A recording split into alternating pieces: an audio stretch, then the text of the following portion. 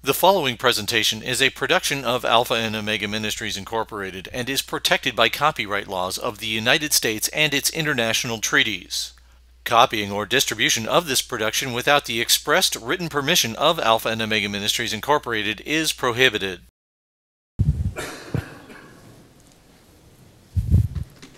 The resolution you uh, have seen, the resolution being debated this evening is as follows. Be it resolved that the Holy Scriptures are the sole, the only infallible rule for faith, for life in the church. This, of course, was the so called formal principle of ultimate authority that lay at the root of the Protestant Reformation in the 16th century. And this question of where ultimate authority rests in the realm of faith continues to be the foundational question for our lives, as the question of authority is always so crucial in every area, as we see it evidenced in our nation these days in the political arena. Speaking for the resolution this evening is the Reverend James R. White a most uh, experienced debater. I myself first met Dr. White uh, four years ago, I believe it was, uh, when he was my opponent in a debate regarding the proper subjects of baptism held in uh, the Phoenix area. But thinking exclusively of his debates with representatives of Roman Catholicism, he has uh, had more than two dozen uh, such debates since 1990. I'm wondering, is it my mic with all the feedback? Uh, we'll try it down lower, see if it is. Uh, as some are called to be pastors, some to be teachers, some to be evangelists, Dr. White, it seems, is called primarily to be a debater uh, and an author. Uh, among his many books, answers to Catholic claims, justification by faith, the Roman Catholic controversy, uh, Mary, another Redeemer, letters to a Mormon elder, is the Mormon my brother, the King James only controversy, the forgotten Trinity, and most recently, the Potter's Freedom. His master's degree is from Fuller Seminary and his doctorate from Columbia Seminary in Longview, Washington. Dr. White is the director of Alpha and Omega Ministries, a Christian apologetics ministry based in Phoenix, and it's a great pleasure to have him with us this evening. Now, speaking against the resolution this evening, we have Dr. Mitchell Pacwa. Father Pacwa is a Jesuit uh, priest, currently assistant professor of scripture at Dallas University. He uh, earned his bachelor's degree summa cum laude at the University of Detroit his MDiv degree, magna cum laude, at the Jesuit School of Theology of Loyola University. His PhD degree was awarded by Vanderbilt in Old Testament. He has taught many courses in many institutions in both Old Testament and New Testament. He is the uh, contributing editor of both This Rock and uh, Touchstone. He has published two books, Catholics and the New Age, and Father, forgive me, for I am frustrated.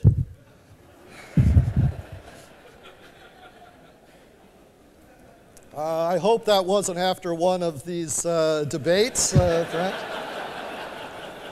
uh as well as writing uh, many articles and essays. Uh, most significant for our topic tonight, his chapter in the 1997 book edited by Robert Sungenis, Not by Scripture Alone, a Catholic critique of the Protestant doctrine of sola scriptura. And it's a pleasure to welcome Father Pacwa this evening. Now, the format that we're going to be following tonight will be rather formal. Uh, I don't expect you to remember it. Uh, let's hope I do. Uh, but let me just outline it quickly so that you won't be too surprised as we uh, go along tonight. Uh, both speakers are going to have four minute introductory statements. Then there will be opening presentations of 12 minutes each, followed by first rebuttal and clarification, five minutes each. And then the first section of the debate will end with the first cross examination, eight minutes each. And then will be time for a break, uh, 15 minutes. We're going to have to abide very strictly by that uh, time limit tonight. But let me just announce uh, here, in case you've missed this uh, perhaps on the way in, uh, let me announce that there are two giveaway items back on the tables, two freebies tonight. Uh, the first is the tape Inspiration, Pastor George Mladen's wonderful collection of piano renditions of favorite hymns of the church. That is a uh, free gift to all who are first time visitors at the New Life Presbyterian Church tonight. Uh, the second one is an audio tape of a radio debate uh, that I had with uh, Karl Keating, the director of Catholic Answers, on the crucial doctrine of justification. Uh, that will be given free to all who are interested in having a copy while the supply lasts. I don't think the supply was great. Uh, I'm not sure how many are still there, but that's on the left side of the table, and uh, the piano tapes of Pastor Mladen on the right side. Okay, it's time to get started with the introductory presentation, and Dr. White will get us started.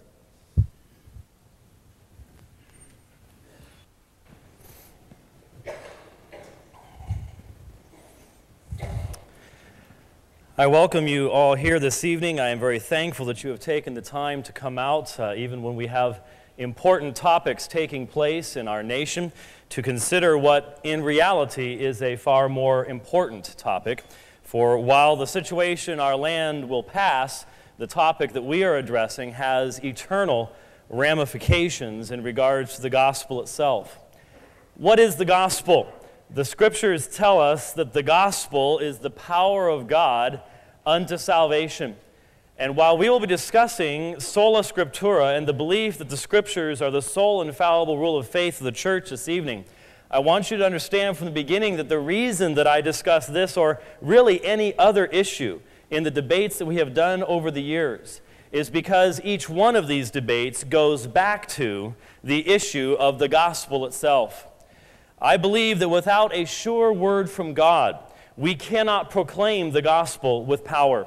The gospel is based upon God's revelation to us in Scripture.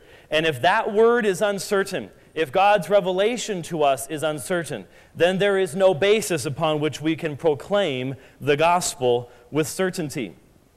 It is my conviction that the claims and assertions of the Roman Catholic Church in regard to her own authority have resulted not in a clarification of the gospel, but instead in a diminishment and sadly, in the official teachings of the church, I believe a substitution for the gospel of Jesus Christ.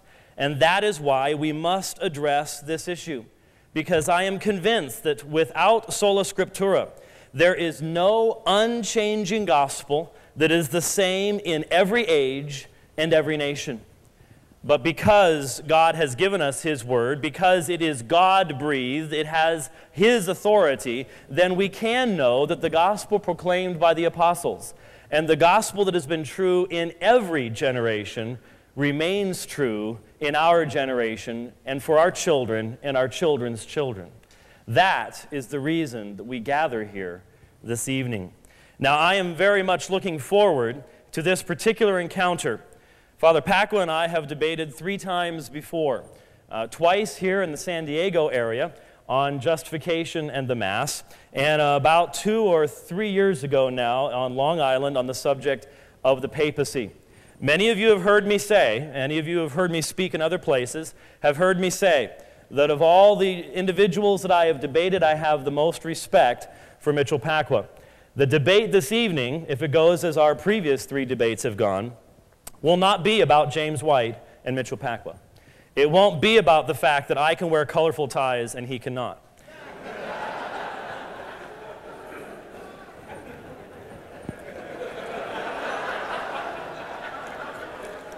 it won't be about anything personal concerning he or I. Because one of the things that I enjoy about Father Pacwa is that he sticks to the subject. And in point of fact, I would say, though this is my fifth or sixth debate on this subject, it may well be the first time I've been able to debate the subject and it solely stay on the subject of sola scriptura. And so, my desire in engaging in these debates is to serve you, not myself, not anyone else, the person listening. If we present our case clearly, and you can leave this place understanding what the differences are and the basics of our positions and how they interact, then we will have done what we need to do here this evening. Thank you for being here. God bless.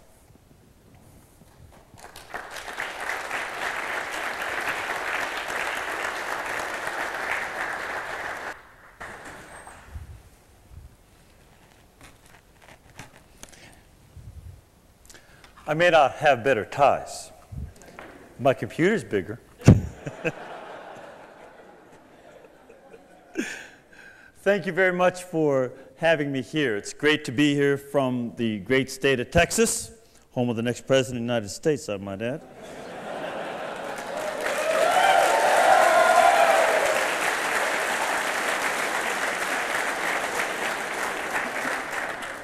a man who I believe is a fine Bible believing Christian. Now, I also very much agree with James that this is. Oh, wait, better. Oh, she might me to start those. oh, uh, it's, a, it's a very important topic for us to deal with. Again, not because I like to win or lose debates. Uh, the intellectual pursuit is a great delight. I love having had the opportunity to go to higher education and especially to become a professor. I tell everyone it beats having a real job any day. and I'm quite delighted to do the work, especially to be able to teach scripture as, as my job. But it's not a job, it's much more than that.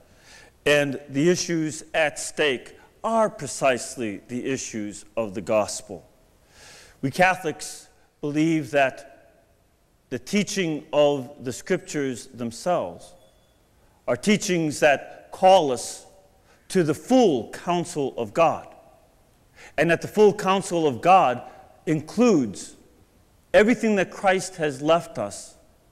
He left in his apostles and through them to the church that comes afterwards. That includes the written word of God, which is an inerrant word of God. It is guaranteed not by the church, but it's guaranteed by God Himself, who is the primary author of Scripture. God has deigned to use fellow human beings to write the Scriptures. We humans can understand the words of our brothers and sisters from centuries past. But they were God's instruments. He is the primary author, and it's the Holy Spirit who gives the guarantee for the Word of God. And this is something that we believe most strongly. And furthermore, as the Catholic Church teaches in its own conciliar documents, that the Church must be subject to the Word of God that Scripture has priority over our own ideas and our own personal opinions.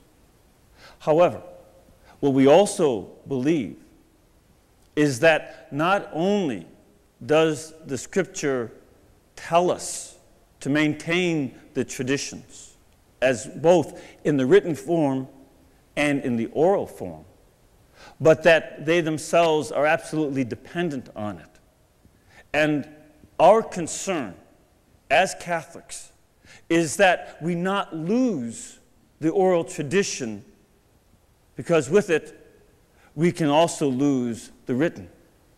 And this is the danger that we want at all costs to prevent. What we want to ensure is our fidelity to whatever Christ left us. Now, one of the things, too, that I can say with absolute confidence is that throughout this debate, James and I, and I assume everybody here, understands is that the primary source of what is true is God. Truth is personified in Jesus Christ, as the Word of God itself says. And that our desire for that truth and our commitment to that truth by James and by me and by all of us here is that we stay faithful to Jesus Christ our Lord. and that that concern uh, might have some different ways of dealing with the issues, and we might highlight some aspects of that. But certainly, that is the concern of my church and yours. And hopefully, our discussion will draw us more close to Jesus Christ our Lord and through him to the Father.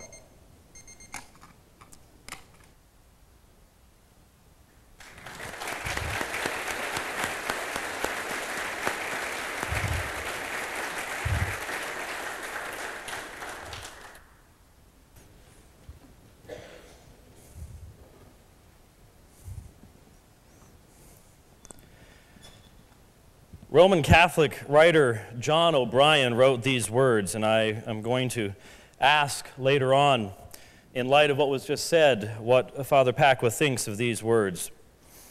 Great as is our reverence for the Bible, reason and experience compel us to say that it alone is not a competent nor a safe guide as to what we are to believe.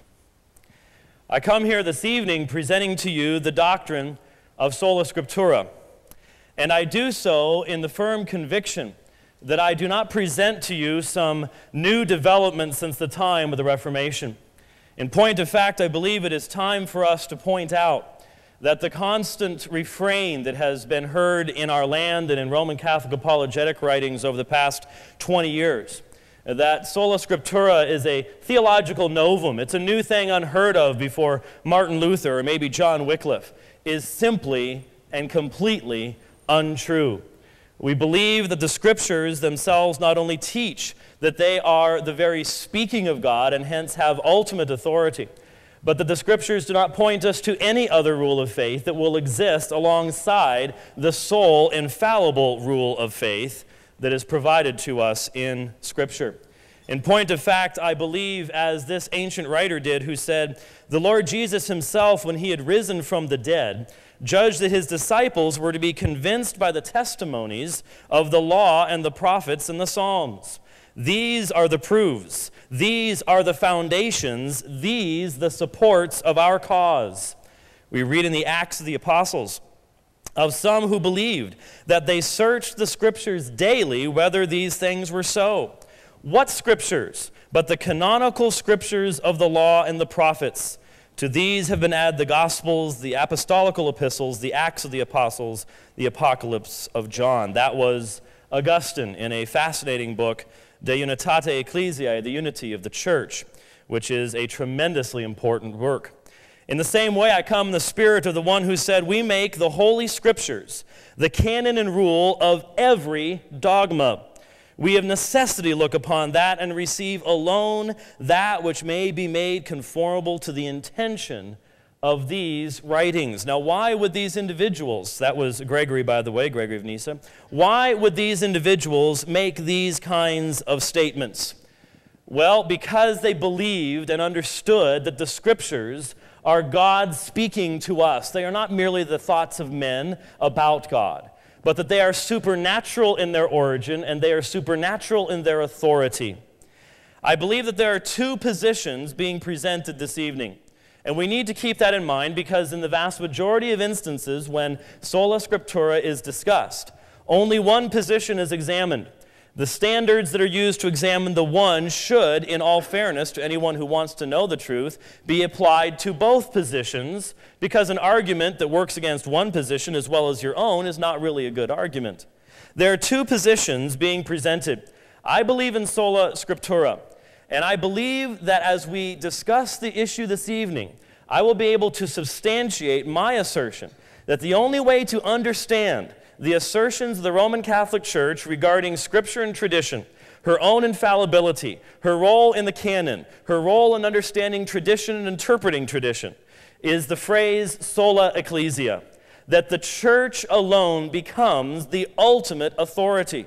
And I say that because in the Roman Catholic position, it is the church that defines the extent of Scripture, the canon, and the interpretation of Scripture as well as the extent of tradition, what is and what is not tradition, and the meaning of tradition. And so we can say that the church is under the authority of these two sources all we want, but if it is the church that determines the extent and meaning of both, and does so allegedly infallibly, how can we logically say that the church exists under the authority of two sources that exist because she defines them and interprets them? The Roman position is a claim to absolute and infallible authority. And that is the same claim that I make for the Word of God, the Bible. It is vital to remember this throughout the debate this evening and apply anything that I say to both positions and vice versa. That is very, very important. Now, the doctrine of sola scriptura is really rather straightforward, but in my experience, it is rarely accurately represented in many writings in our day. Sola scriptura, very briefly stated, is simply this because the scriptures are the only example of God breathed revelation in the possession of the church, they form the only infallible rule of faith for the church. In other words, since the Bible is theopneustos, the word used at 2 Timothy 3:16, God breathed, it provides to us the very voice of God, or to use the words that the Lord Jesus used in Matthew 22:31, have you not read what was spoken to you by God? The Lord Jesus believed that the very words of Scripture were God speaking, the very same doctrine that we have in the Apostle Paul in 2 Timothy chapter 3. God's voice can admit of no higher or equal authority. It is the ultimate authority in all things, for God cannot refer to some higher authority than himself to establish the truthfulness of what he himself says. It is, by definition, an absolute authority. Sola Scriptura denies that there is another infallible rule of faith for the church. Notice the use of the word infallible. There may be other rules, there may be creeds, there may be confessions of faith, but they are not infallible in and of themselves, and they are subject to the correction of the highest authority, and that is Scripture. Again, as Augustine put it in these words, What more shall I teach you than what we read in the Apostle? For Holy Scripture fixes the rule for our doctrine, lest we dare to be wiser than we ought. Therefore, I should not teach you anything else except to expound to you the words of the teacher. And again, elsewhere, he put it this way, this way, neither dare one agree with Catholic bishops if by chance they err in anything, with the result that their opinion is against the canonical scriptures of God. Now, very quickly, as our time is short this evening, we turn in our scriptures, if you have them, to one of the key passages, and that is 2 Timothy chapter 3. Most of you know the passage well, but I quickly read it to you, beginning at verse 14. But as for you, continue in what you have learned and have become convinced of, because you know those from whom you learned it, and how from infancy you have known the Holy Scriptures, which are able to make you wise for salvation through faith in Christ Jesus. All Scripture is God breathed and is useful for teaching, rebuking, correcting and training in righteousness, so that the man of God may be thoroughly equipped for every good work. Now, as soon as this passage is cited, as soon as the, the very words came from my mouth, there were some of you who were saying something along these lines. Oh, yes, we know that passage. But that doesn't say only Scripture, it just says all of Scripture. That is quite true. But anyone who is going to say, well, that opens the door for another infallible rule of faith, will then have to prove that whatever you offer as an infallible rule of faith is theopneustos. It is God breathed. And that without it, the man of God is insufficient to do every good work in the church. The scripture here says that if you want to teach doctrine, Timothy, go to that which is theopneustos. If you want to correct, if you want to rebuke, if you need to train in righteousness, Timothy, you have the sufficient source only in that which is God breathed. Don't accept a substitute. And so, if we are going to say that there is something else beyond this, if we are going to say that there is another infallible rule of faith, then we have to demonstrate that it is theopneustos, it is God breathed, and that without it, the man of God will not be able to do what Timothy was able to do. And that means I will be challenging the Roman Catholic side this evening to demonstrate that the doctrines and dogmas that have been defined on the basis of this other rule of faith, most of which were totally unknown to the early Christians, men of God lived for centuries without knowing any of the dogmas that have been defined just in the past 150 years. They had wonderful ministries and served Christ without any knowledge of what a Roman Catholic must believe today to be dogma. I will challenge anyone who says that's a rule of faith to demonstrate that that is not in contradiction to Paul's own words to Timothy when he said, Timothy, you as the man of God can be complete, you can be thoroughly furnished to do these things in the church, to teach doctrine in the church. I will be making that challenge. And remember what Peter said in 2 uh, Peter chapter 1. Above all, you must understand that no prophecy of Scripture came about by the prophet's own interpretation. For prophecy never had its origin in the will of man but men spoke from God as they were carried along by the Holy Spirit. Here is a description of an infallible rule of faith. Why is it infallible? Because it does not have its origin in the will of man. Here is where we come to the issue of certainty. For Peter was convinced that prophecy never had its origin in the will of men. Instead, men spoke from God as they are carried along by the Holy Spirit. There is the certainty of the gospel. There is the certainty of the scriptures as the only infallible rule of faith. For the Holy Spirit is not going to carry a person into error. And since that which, com- which they are speaking comes from God, not from man, it never has its origin in the will of man, therefore it is absolutely certain. Now, very briefly, what is sola scriptura? What isn't it? It is not a denial that God's word has at times been in oral form during those periods of inscripturation. Scripture is not being written today. The debate this evening takes place concerning the situation we experience today, not in the days when apostles walked the earth. It is not a denial of the role of the Holy Spirit in leading and guiding the church of Jesus Christ.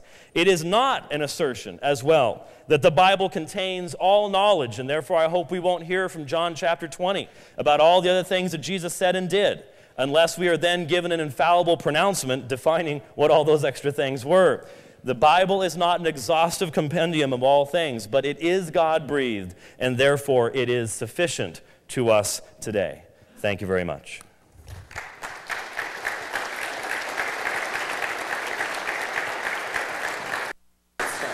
Let's get started.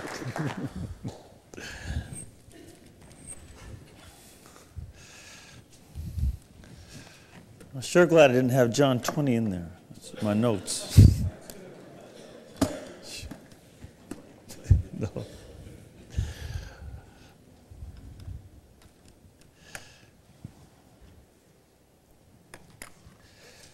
Thank you, James.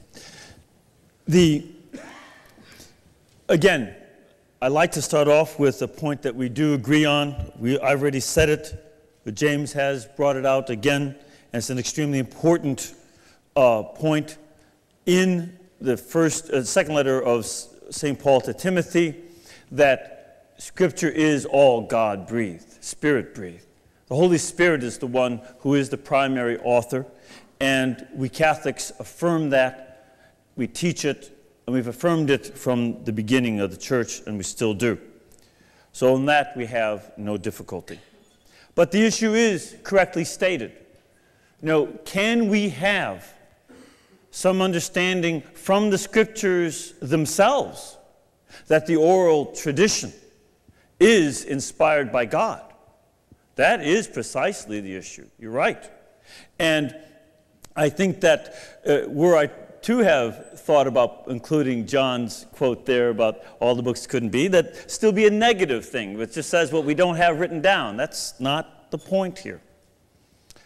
No, I'd rather see what the scriptures themselves say because my point and the point of the Catholic Church on this issue is that, yes, the scriptures are inspired and they give us the material that we need. It's materially sufficient.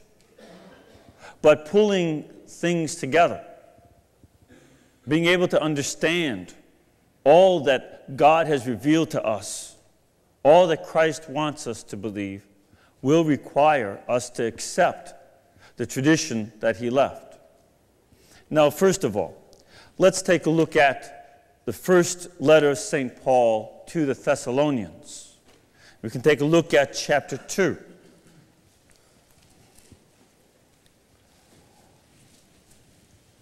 This is, uh, there's dispute among good Christians on all different camps whether this was the first letter of St. Paul or perhaps Galatians was. But it certainly is very early, in the early 50s AD, probably 51. And he says in this very early letter, You are witnesses, and God also, how holy and righteous and blameless was our behavior to you believers for you know how, like a father with his children, we exhorted each one of you and encouraged you and charged you to lead a life worthy of God, who calls you into his own kingdom and glory. First of all, we see that St. Paul had taught and given an example that they could observe for how to lead a holy life. And in fact, there are a number of extremely, desperately important issues that the scriptures testify to, but do not teach with absolute clarity, and that we need to have the oral tradition to help us with these issues. For instance, the issue of abortion is not clearly explicitly forbidden in Scripture. However, the Scripture does give clear testimony to the fact that God gives life in the womb.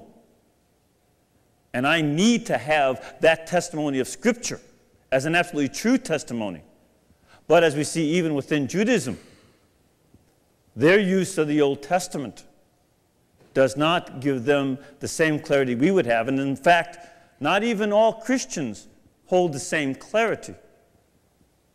And without the teaching of the tradition and the witness that St. Paul and the early apostles left, we might not have the clearest statements, which are actually found in the tradition, the Didache, and a variety of the other early writings of the church, which specifically mention abortion in any form as something forbidden. And we inherit that, at least most Christians do. And that's an important thing to notice that this testimony is something that Paul gave. And while not every single point was written in his letters about what that moral behavior included, that was passed on in the writings that continued and the, the public practice of the church condemning any form of abortion or birth control. These things were meet early and often condemned.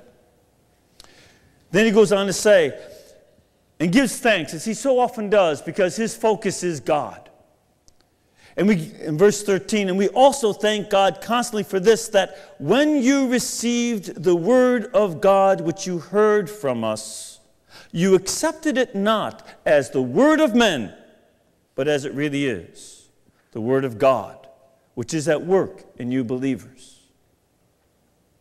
The word which St. Paul spoke to them is a word which is God's word. This is before he wrote them anything. His oral tradition, as well as his example, was God's word, not the word of men. And so that we see his example, and even though he does not tell us every single part of the gospel that he explained to the Thessalonians in this epistle. That word, an oral word, was very much the word of God. And he had that word as a source of joy for him because they accepted it as God's word and not his. And so we see in this very important text that Paul's oral tradition is God's word not man's word. And God's word, whether it comes in an oral form or whether it comes in a written form, is still his word and has his authority. Furthermore, in verse 14, he continues For you, brethren, became imitators of the churches of God in Christ Jesus, which are in Judea. For you suffered the same things from your own countrymen as they did from the Jews, who killed the Lord Jesus and the prophets, and drove us out, and displeased God, and oppose all men by hindering us from speaking to the Gentiles that they may be saved. Now, here too, there is an example that he commends to the people of Thessaloniki and that they who live in Thessaloniki should follow that example of the churches in Judea.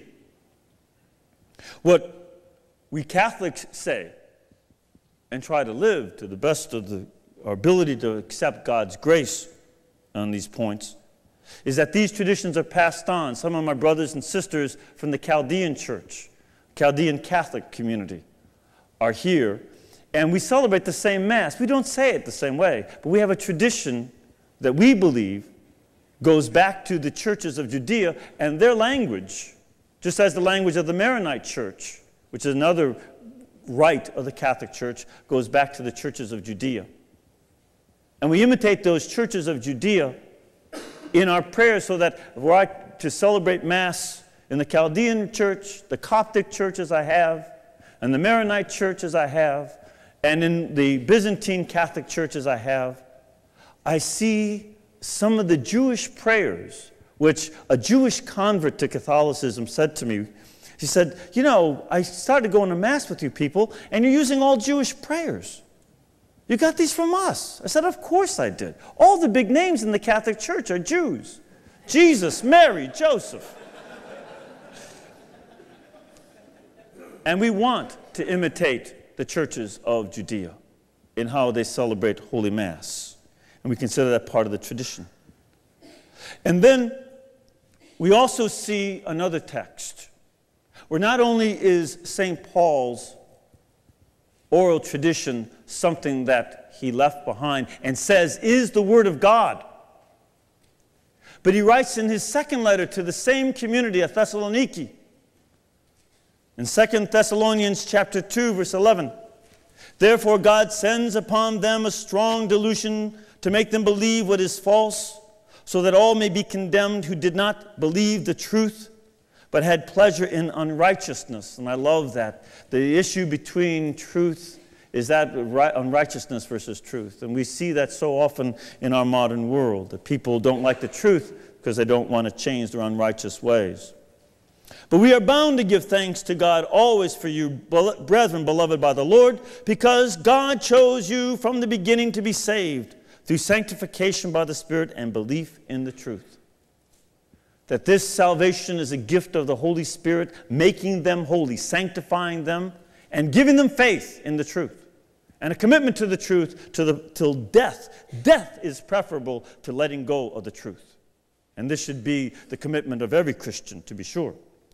To this, He called you through our gospel so that you may obtain the glory of our Lord Jesus Christ. And since this is only his second epistle, maybe his third, probably just second epistle, this gospel is still, for the most part, an oral gospel. That's what he, he hasn't written the great treatise of Romans or Galatians yet. So then, brethren, to confirm what I just said, that his gospel is oral, he says in verse 15, So then, brethren, stand firm and hold to the traditions which you were taught by us, either by word of mouth or by letter. Now, the RSV has word of mouth. Actually, it simply says that hold on to the traditions, whether by word or by letter. Some of the translations, I know the NIV doesn't have traditions, they changed it to teachings. But the word paradosis is not didaskalia. It's not the word teaching didaskalia, it's paradosis. Paradosis means that which is passed on. And in fact, in St. Paul, the passing on of tradition and the use of the term passing on is a very technical term that the rabbis had to, to, to pass on and to receive is an idiom in rabbinic literature to communicate that what I have said is absolutely sure. It is a sure tradition that I'm passing on to you. And St. Paul uses that kind of language frequently. But here, in Scripture, he commands us to hold on to the traditions, whether by word or by letter.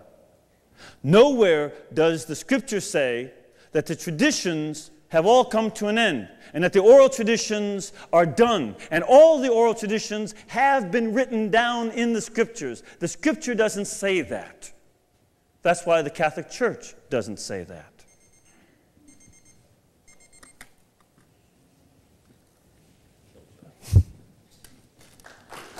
Stop.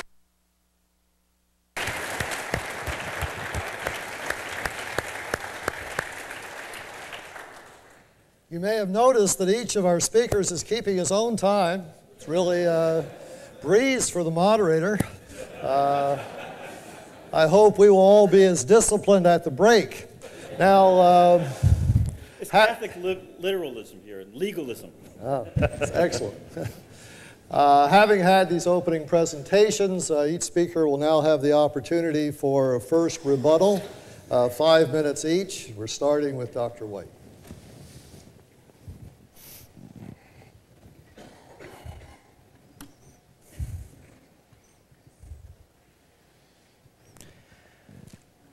If you still have your Bibles open to 2 Thessalonians 2:15, let's go ahead and continue with that topic. We are trying to be somewhat formal in sticking to only the materials that were presented uh, by the other individual in their opening statement. And so let's look at 2 Thessalonians 2:15.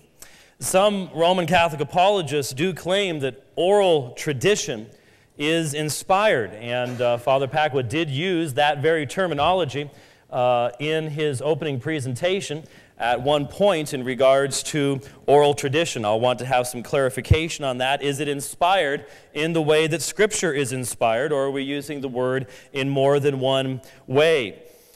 Now, I don't believe that there is an infallible answer to that question because I don't believe that the Roman Catholic Church has actually defined that issue, and hence there are people who agree or disagree depending on their perspective. The passage says, So then, brethren, stand firm and hold to the traditions which you were taught, whether by word of mouth or by letter from us. Now, there is one body of truth in view in these words, delivered by preaching and by letter.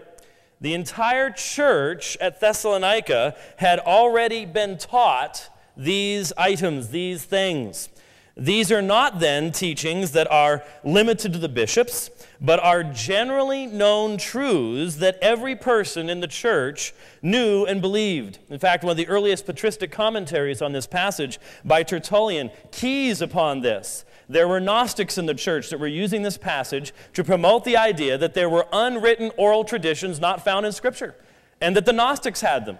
And Tertullian had to refute that perspective even in his day. So, any claim that the oral component of this teaching contains anything other than what is found in the written component requires the defender of such a position to prove from the writings of the early church itself that these things were generally known and believed by the Christian people. And so, if we're going to look at this passage and say, yes, the apostles delivered the doctrine of the bodily assumption of Mary, well, then let's trace it from the church of Thessalonica to the modern day. As you may know, historically, that cannot be done.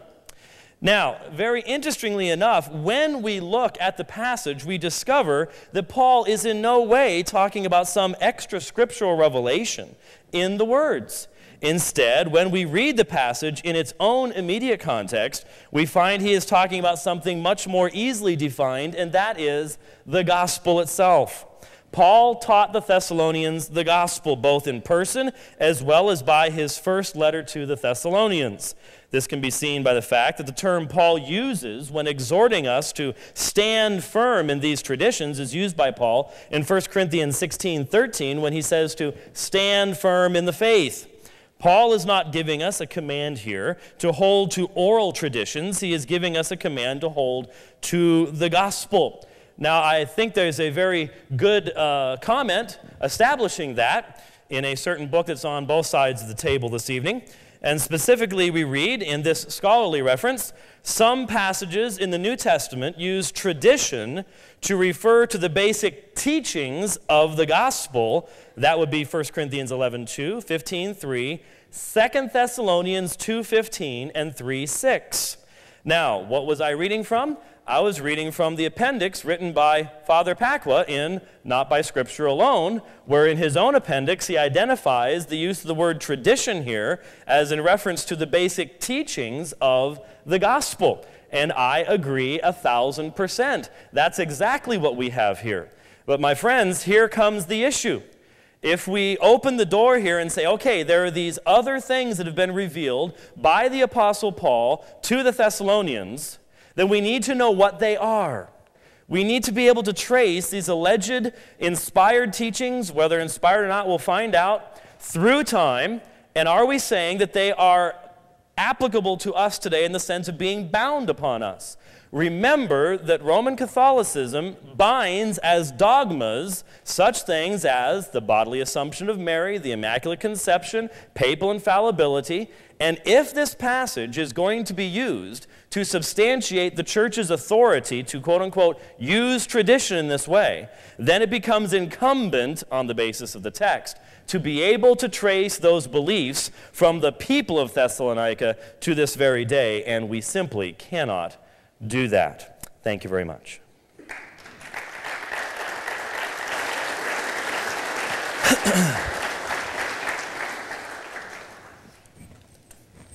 it's set.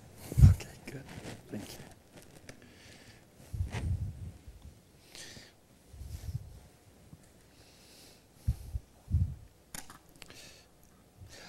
First of all, let me make a response to the quote that you'd given from a Mr. O'Brien. Yes, John. Yes, John O'Brien. Um, I don't know if he was trying to be polemical or highlight a point by being rhetorical in some way, but I would myself would not uh, talk about Scripture as being incompetent and so on. I, I find that myself uh, offensive kind of language. You don't talk about the Word of God in such a way. The Word of God is to be treated with respect, and you have to treat it with the dignity that it belongs. Uh, I don't read the gospel at Mass without kissing the page because I love the gospel itself, and so I find that offensive too. I think that uh, we can't go about, and certainly on the Catholic side, uh, we cannot go about, you know, dealing with certain things like, uh, uh, you know, putting down scripture and so on. That's just absurd. Now, I won't get into all of the aspects of Catholic doctrine. These would take a lot of different uh, debates to deal with uh, the doctrines about the Blessed Virgin Mary and so on. I'd like to focus on those, some of the scripture, uh, the, the, excuse me, the traditions that we Catholics do insist on as authoritative, and which Protestants, of course, also bind upon themselves, usually, but not universally. This would include, for instance, the fact that the canon of the scriptures themselves are not something that depend on the church approving of books. Okay, and I think that that would be an incorrect way to say it. Again, the, the, the church doesn't say, okay, we think that's inspired and we think that's not. Now, the issue for us in terms of, uh, uh, again, a tradition that we can, for the most part, agree upon, is that the canon of the New Testament has 27 books. We agree on that. We bind that. And that's why we're not Mormons. We don't add the Pearl of Great Price or some of these other Mormon books. We believe that the canon of Scripture is closed. But we believe that there is a closed canon not because the New Testament tells us. The book of Revelation says that you, know, that you can't add any words to that book. But at the time the book of Revelation was written, there was no collected New Testament yet with 27 books. As a matter of fact, in the earliest lists, and I mean earliest, lists that we have from the 180s AD, the Muratorian canon, the canon of St. Irenaeus. Then you go on into the uh, canons of the third century. You typically have no more than 22 books listed. Not because they necessarily rejected, they didn't have all the tradition available to them. But the concept did arise by the tradition of the church that the canon was closed. And by the fourth century, the first attempt at the Council of Laodicea, which has a canon none of us agree with, excluded, for instance, Esther. We don't accept that. But then the, count, the Synod of Rome in 382, Synods of Hippo and Carthage. These councils did give us the 27 books of the New Testament, also 46 in the Old. Again, another issue, we can't get into all that. But we believe that we have that tradition of a canon, of a closed canon, and of a canon of 27 books because this is an inspired tradition. We don't believe that it's the accidental choice of the church picking and choosing, oh, the t- Gospel of Thomas just isn't nice enough. No, that's not it. It doesn't go back to the apostles, and that's what the Catholics insist on. And so we take that tradition, and in effect, so do you, at least most of you, that this is a canon that is authoritative, God inspired, and it includes not just the Old Testament of which St. Paul was speaking in 2 Timothy 3:16. Remember, New Testament wasn't finished yet, was it? They didn't have that done. So we want to make sure that not only the Old Testament is included as inspired by the Holy Spirit, and we proclaim every Sunday in our churches that we believe in the Holy Spirit who speaks to the apostles, to the prophets, but also to make sure that we accept the canon of the New Testament as inspired.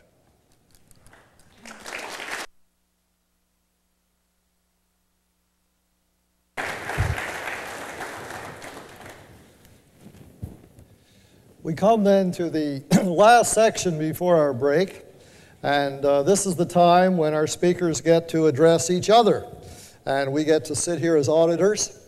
And uh, I will move my chair as far back as I can to get out of the uh, line of fire here. But uh, we have, first of all, uh, Father Pacwa questioning Dr. White for eight minutes. You want to reverse it? Uh, oh, I'm sorry. You're correct. Um, forget, forget me. Don't worry about me. Uh, and then, pardon? No. Okay, thank you. You don't want to see me. really. Your tie is so nice, though. it's a nice They've seen tie. enough of the tie. They're dizzy now. We start then with you, Father. Okay.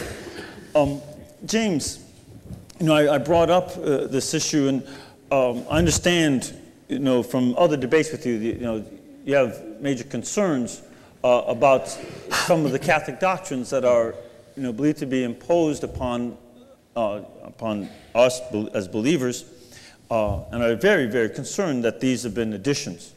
But the, the issue is, is still one of, you know, how do you account, you know, for the, the canon uh, in the present form that we have? You know, how do we deal with, uh, again, a tradition that we do accept, not one that we dispute, um, uh, apart from the Old Testament?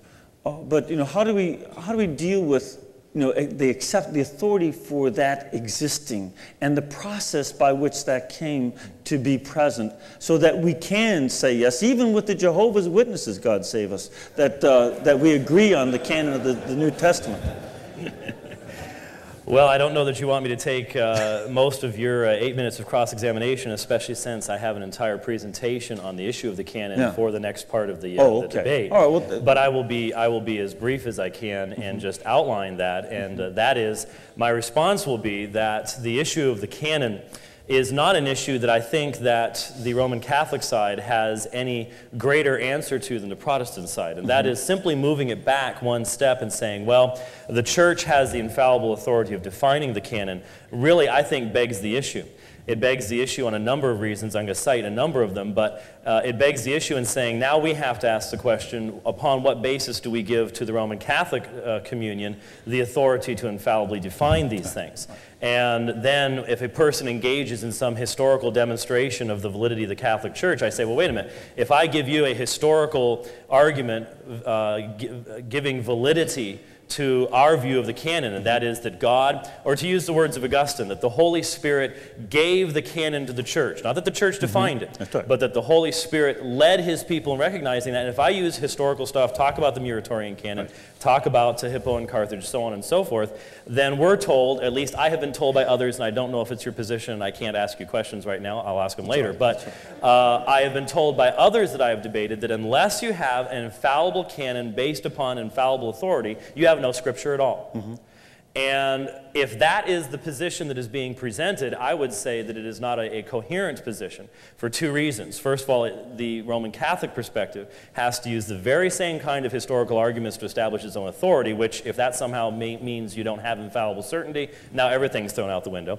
And the second thing is, as I think you would confirm, the first dogmatic, infallible definition of the canon from your perspective is April of 1546 at the Council of Trent because Carthage and Hippo were uh, provincial councils.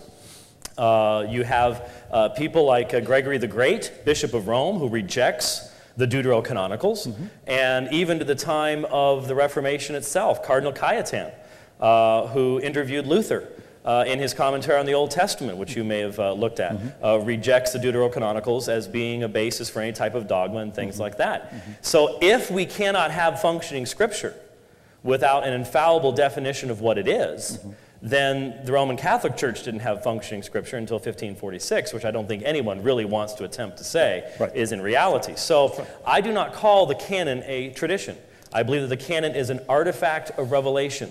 That is, because God inspired some books and not all books, a canon exists infallibly due to the fact that He has engaged in revelation. And the issue is, how do we as human beings come to know what it is? I'm not sure if what you're saying, and this is a, a, question hidden, I guess, I'm not sure if what you're saying is the apostles passed on a canon or mm-hmm. not. Mm-hmm. And that would determine how I would go farther with my answer, if in point of fact that's what you're saying, and I don't know that's what you're saying. Yeah, no, it's not. The, uh, one of the thing too, uh, thank you. Uh, one of the other things too is, while you know you, you do mention, and, and you know I've, I've got plenty of those quotes too in the same book, uh, you know of you know many of the places where the fathers of the church will talk about Scripture as you know, an authority, and, and, what it sounds like is that it's a sole authority. However, the same fathers, Cyril and Augustine, you know, uh, even in some of the places that um, you know you mentioned, uh, you know, Cyril and uh, in his catechesis will also talk about the role and the importance of tradition. How do you see that, you know, that they're balancing this off. You well, know, that, that uh, Augustine, even to Maximinus. Mm-hmm. Uh, exactly. I was. Uh, you're familiar with that quotation as mm-hmm. well. Maybe we'll have time to bring it up. Maybe we won't. But uh, the the thing that I would assert very strongly is that there is a substantial difference between the terminology used by the vast majority of the fathers when they speak of the scriptures and that which they speak when they speak of tradition. 2 mm-hmm. things. Mm-hmm. When they speak of tradition, what are they talking about? Irenaeus, for example, speaks very highly of tradition, but then when he defines it, he defines it as a belief in one God who sent Jesus Christ into the world. And I think you would have to agree with me, that's a sub biblical, that is, it, it is derived from Scripture sure. tradition. It's not something that exists outside of the Bible, mm-hmm. it is something that can be very easily derived from the reading of Scripture.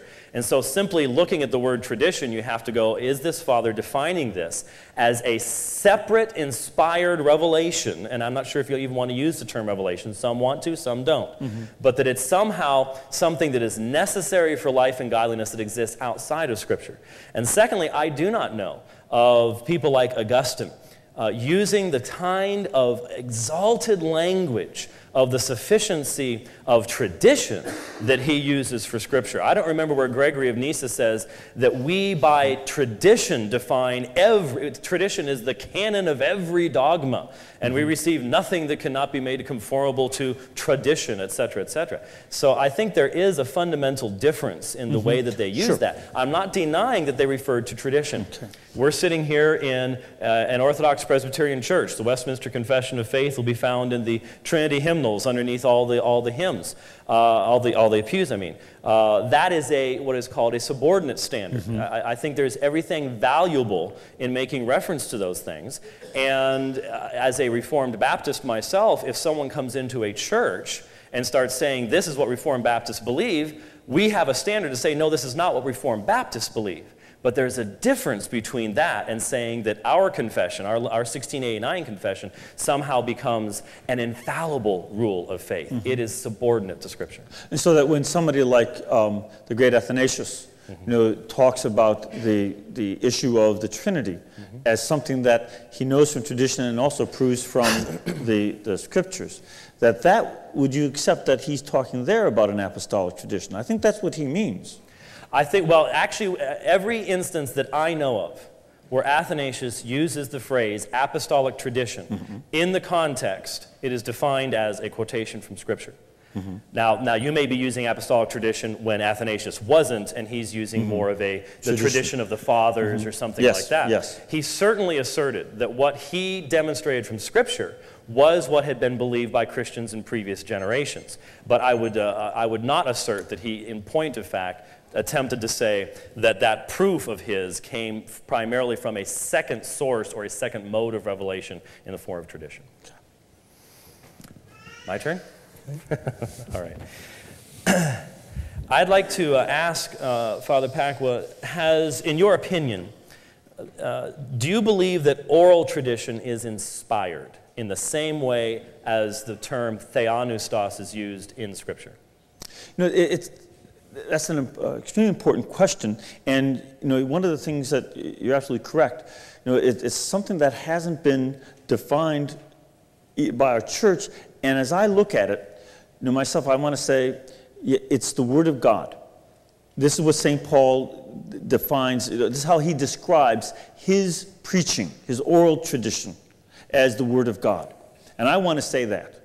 And therefore, I would have to say that it is inspired and that just as the, um, the various sayings of Christ that were passed on even outside the New Testament, if, if indeed that those are the words of Christ, then they're inspired words. Now that's another question, but the, I do, do want to say that they are inspired in these traditions. Well, that, but, that, but I was just going to uh, make as a qualification.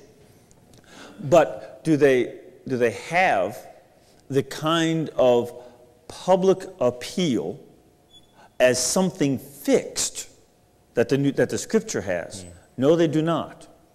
That there's, there's the, new, the scriptures, both Old Testament and New Testament, have a fixed quality to them, obviously. Mm-hmm. You know, we, don't, we may not add to them, we may not subtract from them. And so that, uh, and, and the, the reason for that is the kind of fixed form in writing gives them an inspiration that you know is beyond um, you know uh, hopefully beyond doubt. And we can appeal to them with a kind of authority.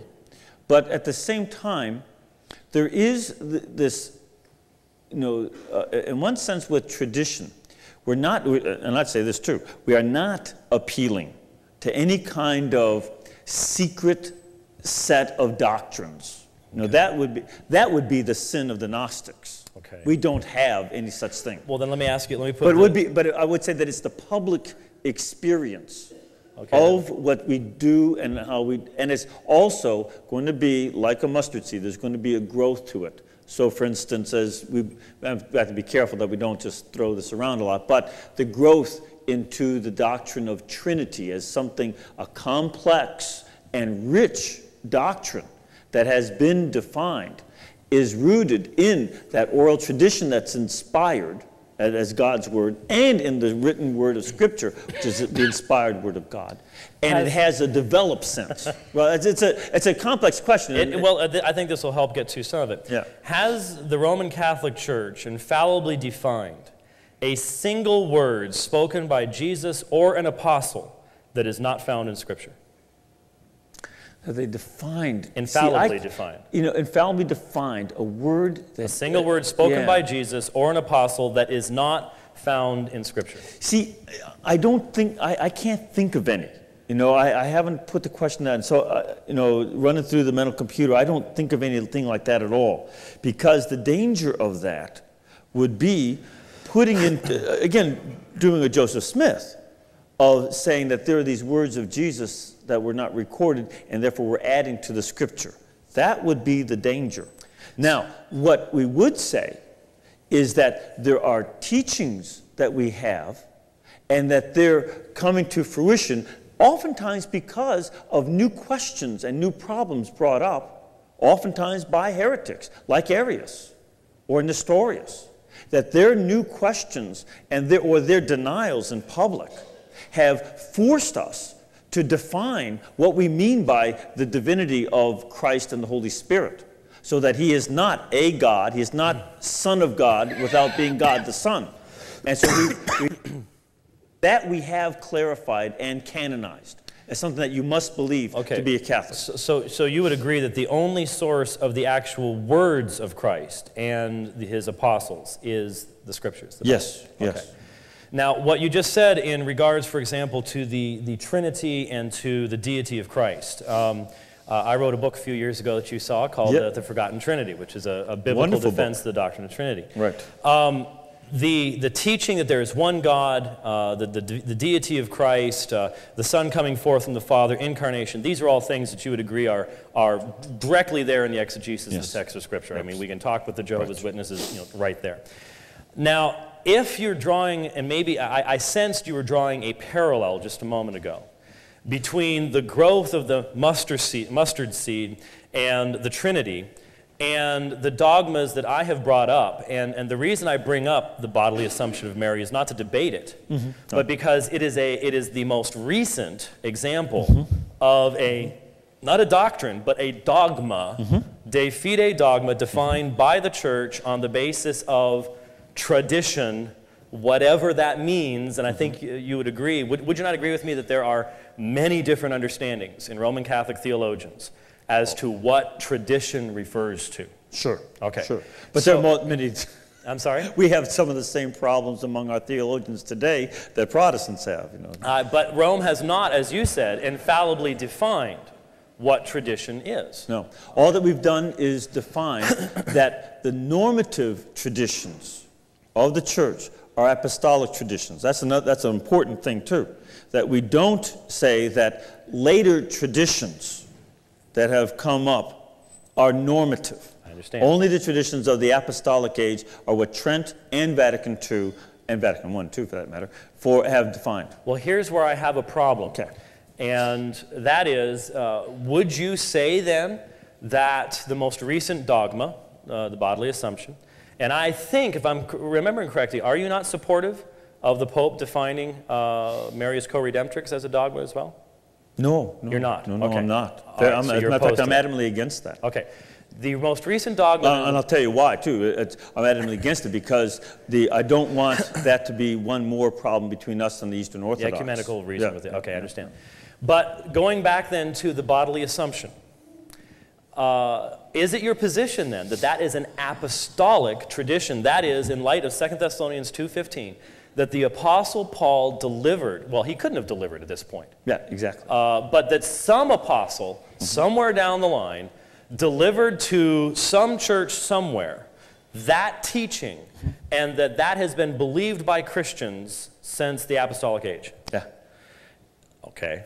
Are you, uh, can you uh, understand how a person like myself would look at the historical record at Ludwig Ott, mm-hmm. who admits that the first appearance of this dogma is in the Transitus literature, which was not even Orthodox literature, 500 years after Christ, mm-hmm. and I would go, I don't see any evidence whatsoever that's apostolic. Mm-hmm. Would you see how that and, would... And I, and I guess, uh, again, we, without getting into the, the issue of the assumption of the Blessed Mother, um, I would I would disagree with uh, Professor Ott.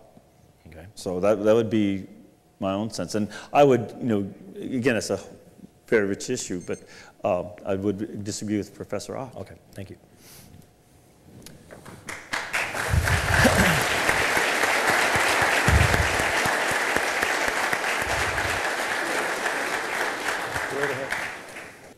We're going to be beginning now with a second presentation of 10 minutes each by each of the debaters. That will be followed by five minute rebuttals, then another cross examination time, eight minutes for each, five minute rebuttals, and last, 10 minute closing statements.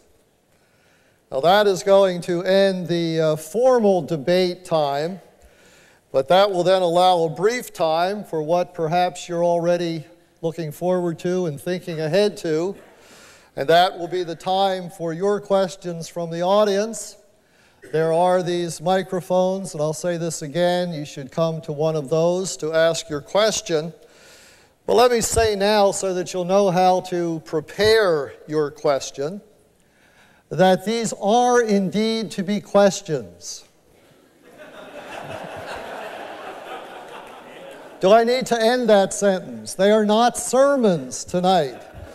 You see how many we have with us, and just multiply that times the uh, minutes for a sermon. Following the question time, I believe I'm right on this, Pastor, refreshments will be served? No, a change. What a terrible thing not to check that ahead of time and uh, leave you on that note. This is a very Spartan congregation, and there is, uh, there is water available.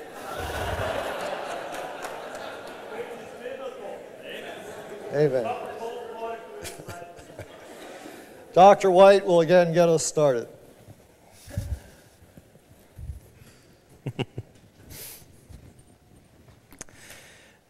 yes, indeed. Well, so far we have had uh, an excellent opportunity of interacting on some of the major issues. And I mentioned during the cross examination period that I would, in my second presentation, address the issue that uh, Father Pacwa asked me about, and that is the canon. I can be a little bit more brief now because I have addressed some of those issues. Uh, I would like, in essence, to take back from the Roman Catholic side what is rightfully, I believe, my side's and that is the certainty of the canon. All other rules of, faith, everything else that we might have, we believe, is subservient to the scripture, but always what we hear is, well, unless you have an infallible teaching authority in the magisterium of the Roman Catholic Church, you have no canon. Rome says that we cannot know the canon without her own authority. And this has been repeated so many times that it is taken as an obvious truth by, I believe, far too many. In reality, I believe it is the Protestant who can give the only meaningful defense of the canon of Scripture, not the Roman Catholic who takes that perspective. The canon is not an extra biblical revelation. It is not the 28th book of the New Testament. It is the result of the act of inspiration itself. It exists necessarily because God inspired only some books. If He'd inspired every book that was ever written, there'd be no canon. But since He inspired only some books, His act of inspiration is limited to those books. And that canon of books is known infallibly to God just as Father Pacwa knows exactly what books he has written and which ones he has not, and I know exactly which books I have written, the author knows the canon of his own work, and God infallibly knows the canon of his work of inspiration. The passive recognition, please note that word passive, the passive recognition of the canon by the church is nothing more than a fulfillment of Jesus' promise to his church to be with her throughout all ages as a shepherd is with his sheep. The sheep hear the voice of the shepherd only, and the church hears the voice of Christ in his word. Given the purpose of Scripture, Scripture has a purpose. God inspired the Word for a purpose, and that is that being to guide and to edify and build up the church. It follows that God would guide His people so as to ensure that they would be in possession of His truth. Now, this requires infallibility only of God, not of those receiving His gift of grace. Now, the Roman Catholic claims fall, then they fail to give this kind of basis for an understanding of what the canon is. And the reason for the, the failure of the Roman Catholic position, I would assert, is threefold. First, The Protestant, by focusing upon the nature of Scripture as God breathed revelation, does not end up making the Bible dependent upon an ecclesiastical body with a dubious, at times, uh, we all admit, look at the Inquisition, look at the period of the pornocracy of the papacy. There are things in the history of the Roman Catholic Church that Roman Catholics are not proud of today. But making the canon depend upon Rome makes the Bible depend upon an ecclesiastical body that has that kind of history in its background. The Protestant can openly say that the Word of God stands independently of church and council and the historical atrocities propagated by men in the name of God. Secondly, but more importantly, the Roman Catholic claim to certainty regarding the canon does not provide any kind of logical certainty, for as soon as it is made, the question must be asked well, why is Rome capable of determining the canon? In reality, the Roman claim only moves the question of the ultimate authority from one place to another. It is no more than saying, well, the canon is what it is just because we say so. And when it is inevitably asked, why should you be believed, we are faced with a long, highly dubious, easily challenged string of historical arguments meant to prove that Rome is the ultimate and final authority. And by the way, the current edition of This Rock magazine contains an article on this very issue. And if you want to see the long, dubious, easily challenged, and in fact refutable claims of authority found in that very article, I would refer you to it. We just posted a rebuttal of that article on our webpage, in fact, just before coming out here to California. Now, it is the Protestant, but it, it is, if it is the Protestant who presents a historical argument, and the Roman Catholic says, well, uh, you can't have certainty of the canon because you make reference to a historical process worked out by God, then it must follow in all fairness that as soon as the Roman Catholic uses the same kind of arguments to substantiate the claim of Roman authority and Roman infallibility, then the entire argument saying you must have infallible certainty is thereby disproven. And thirdly, let us remember that Rome did not infallibly define its own canon of Scripture until April of 1546 at the Council of Trent.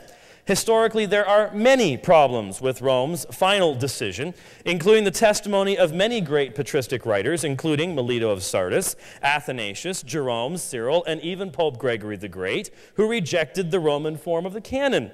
Even in the decades before Trent, you will find Roman Catholic prelates such as Cardinal Cajetan following Jerome and rejecting the apocryphal books as inspired and useful for the establishment of dogma. So, if one needs an infallibly decreed canon, how did the church survive until 1546? That is the question that I would ask. It has been said uh, during the cross examination period that we need to consider the difference between tradition and scripture. And I honestly, even though I believe Father Pacwa did the best job that can be done, I don't still fully understand whether tradition is inspired in the same way Scripture is. And I also do not fully understand how the assertions of, Tertull- uh, of Tertullian in commenting on 2 Timothy 2 2 and passages like that where he says we cannot have some sort of secret dogma, how that does not apply to the very doctrines that separate us most strongly, that separate Protestants and Roman Catholics most strongly. Think about what they are. Things such as the Aristotelian understanding of a change in accidents and substance and what's called transubstantiation Something such as purgatory, indulgences, the treasury of merit. Indulgences are alive and well in Roman Catholic theology. Most of you know that or there are few people, I imagine Father Pacwa runs into them too. Oh, Vatican II changed all that. No, Vatican II didn't change all of that. That's still a part of the teachings of Rome. We have such issues as the bodily assumption, immaculate conception, papal infallibility. All these issues that define what separate us go back to these alleged traditions, and we need to understand is it being claimed that these traditions are theopneustos and that they have been delivered to the Christian people, not just to bishops, but to the Christian people. Because, my friends, the scriptures tell us in 2 Timothy chapter 3 that what God has given to us is given to us for a purpose. For what? For teaching, reproving, rebuking, exhorting in sound doctrine, training in righteousness. Now, if these doctrines are unknown, unknown for hundreds of years, if these traditions are unknown to Athanasius, if they're unknown to Augustine, Tertullian, Ignatius, Irenaeus, they never say a word about these things, then where does the fault lie? Does it lie with them in not having taught these things? Is it not a good deed to teach these things? Paul says, so the man of God may be equipped for every good work. Is it a good work to teach purgatory and indulgences? If those things are true, it would be. If those things are false, it wouldn't be. How does the scripture equip the man of God to teach the bodily assumption of Mary? That's what Paul, the inspired writer, says the scriptures can do.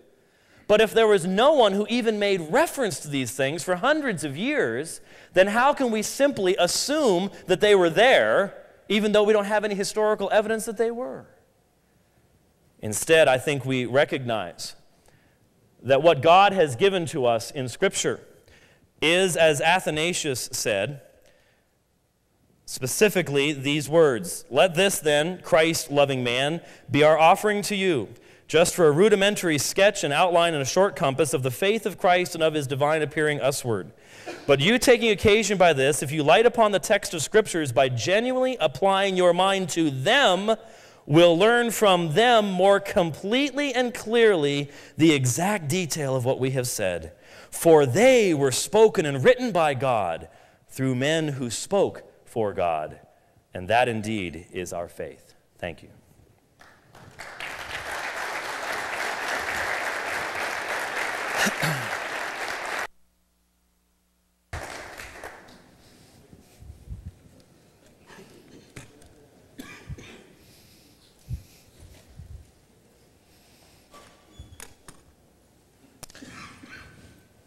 Once again, it's very important for us to recognize where we do agree that the canon of Scripture is a canon of what God has inspired. He is the author, He does know it. It certainly is uh, something that the church cannot create. And the kind of language that some Catholic apologists might use uh, would, would sound like that. They may even mean that. But that certainly would not be the teaching of my church, would not be my teaching. That uh, we don't invent the canon. And yes, it is something that God has inspired because it is God who's the author. What we Catholics would also insist on, though, is that God our Lord has just been absolutely amazing. Uh, the, the line that I love in Psalm 18, verse 36 Your humility makes me great. Anvatacha tarbeni. God's humility to use sinners as apostles and disciples, as debaters like James and, and, and I. Uh, he's, he's happy to, to do that. Well, he's not happy that we're sinners, but he uses us. And so he does use people in the Catholic Church who do some terrible things of which we are not uh, proud. And that's correct. Though I'm sure James also would say that the council fathers who were at Hippo and Rome and others were not the inquisitors. So, but this is part of the mystery of the incarnation, where God calls a church not to be a fellowship like the Moose or some other club. This is not some human organization. And in this sense, you know, I would hopefully not go to the idea of sola ecclesia that James had mentioned in his first presentation, because I, as a Catholic, do not like the, I don't believe that it's sola ecclesia. Uh, as a matter of fact, one of the differences between Catholics and Protestants is that we Catholics don't like the sola stuff. We don't like sola scriptura, sola gratia, sola fide, because we don't see God using the word sola in Scripture in regard to these things. But again, those are a variety of other debates. But certainly not sola ecclesia. That's not at all in Scripture. And again, James and I would agree. Sola ecclesia is not in Scripture. But I do know that God has chosen the church to be the body of Christ. He chose a church to be filled with different gifts in that body. He calls it to be holy, to be sure. And it is the church that he uses to preach the gospel. It is members of the church, called evangelists, who write the gospel.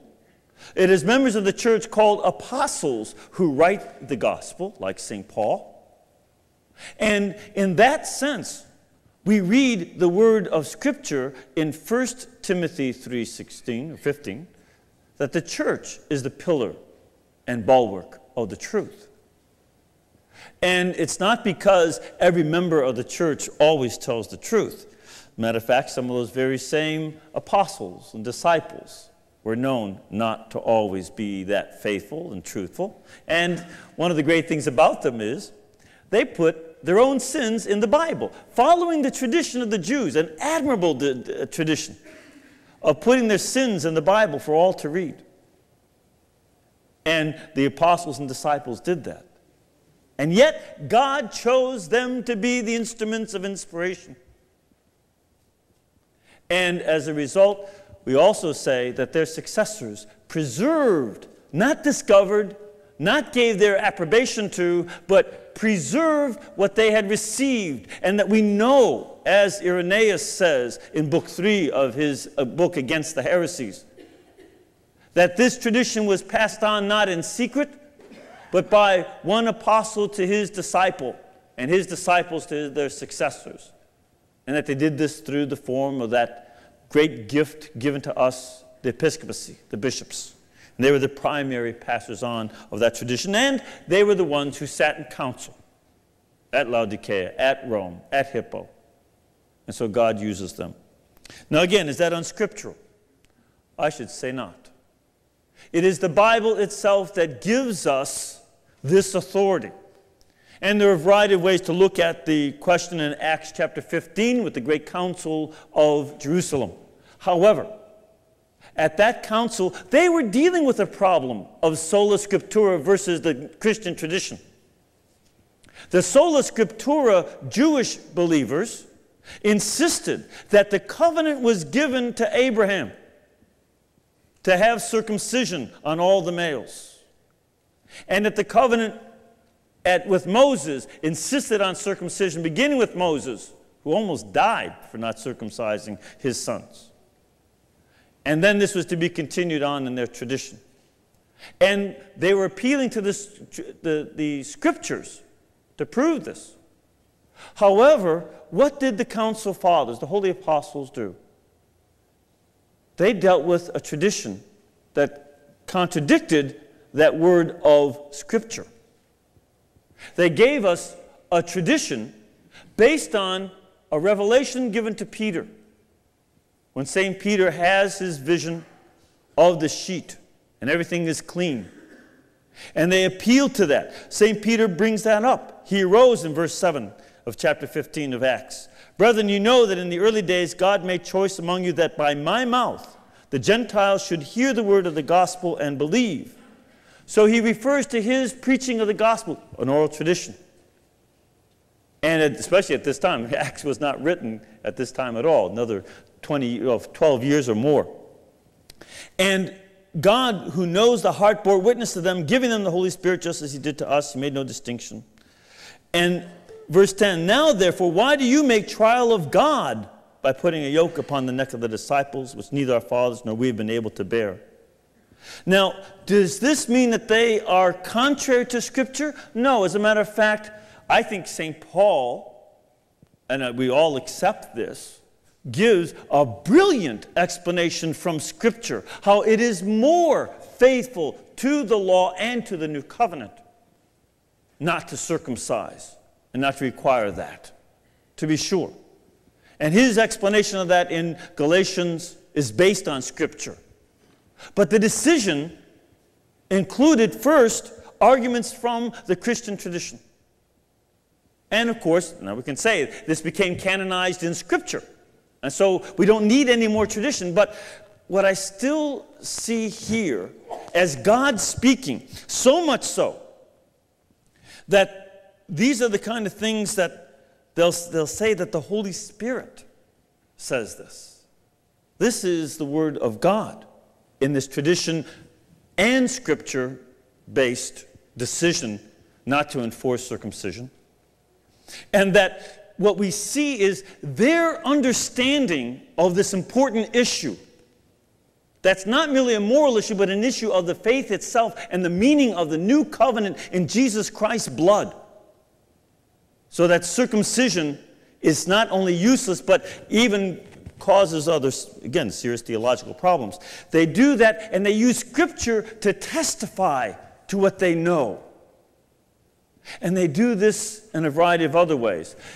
They even in this New Testament go so far as to include traditions that are from outside the Old Testament and they write them into the New Testament, don't they? There are a number of things that we see. For instance, in the uh, letter to the Hebrews, chapter 11, you know, we see that there are men sawn in half. There's no passage in the Old Testament that mentions sawn, being sawn in half, but there are extra biblical traditions about Isaiah being sawn in half. We also know about uh, in Jude that Michael the archangel contended over the body of Moses. That's not in the Old Testament, but it's in the New from a tradition outside. And they were able to include those traditions. And they're able to use that as something that, that we now accept as inspired Word of God in the New Testament, though Jews would not accept it as their canon. I mean, even the stories of about Mo, uh, Isaiah and so on, and Moses. But we see these number of things, uh, Jannes and Jambres being mentioned in 2 Timothy 3.8, two Egyptian magicians that are from Jewish tradition. They include that. And they include as authoritative for them the tradition they have from Christ that gives the meaning of our salvation, and they let the scriptures testify to that. And they hold to that, that testimony so that they might give us the word that is a word of life and salvation. We clearly see in the scriptures concerning the need for a means of correction upon the church itself. Is something the apostles had to do with great regularity. We have heard Acts 15 presented as if those who lost in that conciliar discussion were sola scriptura Jewish believers. Uh, I think that's a, a great misapprehension of what's going on there. The only way that you could parallel Acts 15 with our modern period is if you believe that we are continuing to receive revelation today. It is my understanding that the Roman Catholic system says, no, we are not receiving revelation today. Well, Obviously, at the time of the council, revelation was ongoing. So, to attempt to create a parallel when you have a period of inscripturation over against our period today would force a person to believe that revelation is ongoing today and revelation is not from either perspective. So, that is an uh, errant application. Beyond that, I would also say that the New Testament teaching is that it was the Jews and hence their followers, these quote unquote Jewish believers who did not understand that the gospel was to go to the Gentiles in this way, it was the Jews who held to an inspired oral tradition and claimed that they had this oral tradition that descended down from the time of Moses. And it was the Lord Jesus who had to correct that in Matthew 15, the parallel passages in Mark as well, and demonstrate that it is our duty to hold any traditional teaching up to the highest authority of Scripture.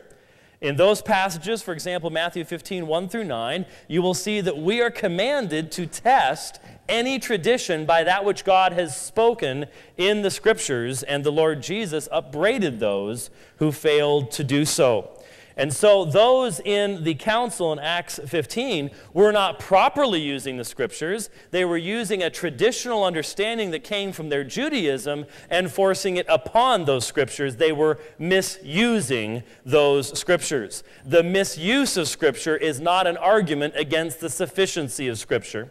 Any more than the misuse of the magisterial documents of the Roman Catholic Church is an argument against their sufficiency for Roman Catholics. And I don't think I need to even get into all the examples I could cite today of Roman Catholics who cite magisterial documents, but do so in such a way that I believe Father Pacwa would say they are completely missing the boat. They're completely missing the point. But the misuse of those documents does not invalidate them. The misuse of the scriptures does not invalidate the scriptures as being the final and sole authority.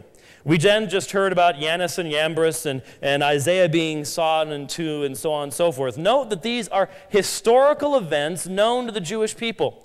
These are not somehow dogmatic traditions, revelations from God that were passed down through the uh, Jewish hierarchy in some way and somehow infallible in their teachings that then became uh, bound upon people's consciences. That is not what we find in those sections of Scripture at all. And so I would remind us of the primary issue this evening. We know that the Scriptures are an infallible rule of faith. The only way to deny sola scriptura is not to ask for the impossibility of a scriptural citation that denies any other proposed rule of faith. The Bible doesn't talk about the Book of Mormon. And so, if a Mormon were to come up here and say, well, unless you can find a verse that says that the Bible is the only rule of faith and the Book of Mormon isn't, well, that proves the Book of Mormon is. I think we can all see that that would be a fallacious argument. The scriptures are theopneustos. And we have already heard that we don't have in Roman tradition any other words of Jesus or the apostles. So, what is this tradition? How did it come to be? If we cannot trace it through history, then is it not highly dubious? Given the public nature of Scripture, the fact that it is given to all men to know and understand, and God holds them accountable, how come God doesn't hold men accountable for hundreds of years for these alleged traditions and they only appear at a later period of time? We need to keep our eye on the fact that we are safeguarding the Scriptures and their certainty in our belief in sola scriptura. Thank you.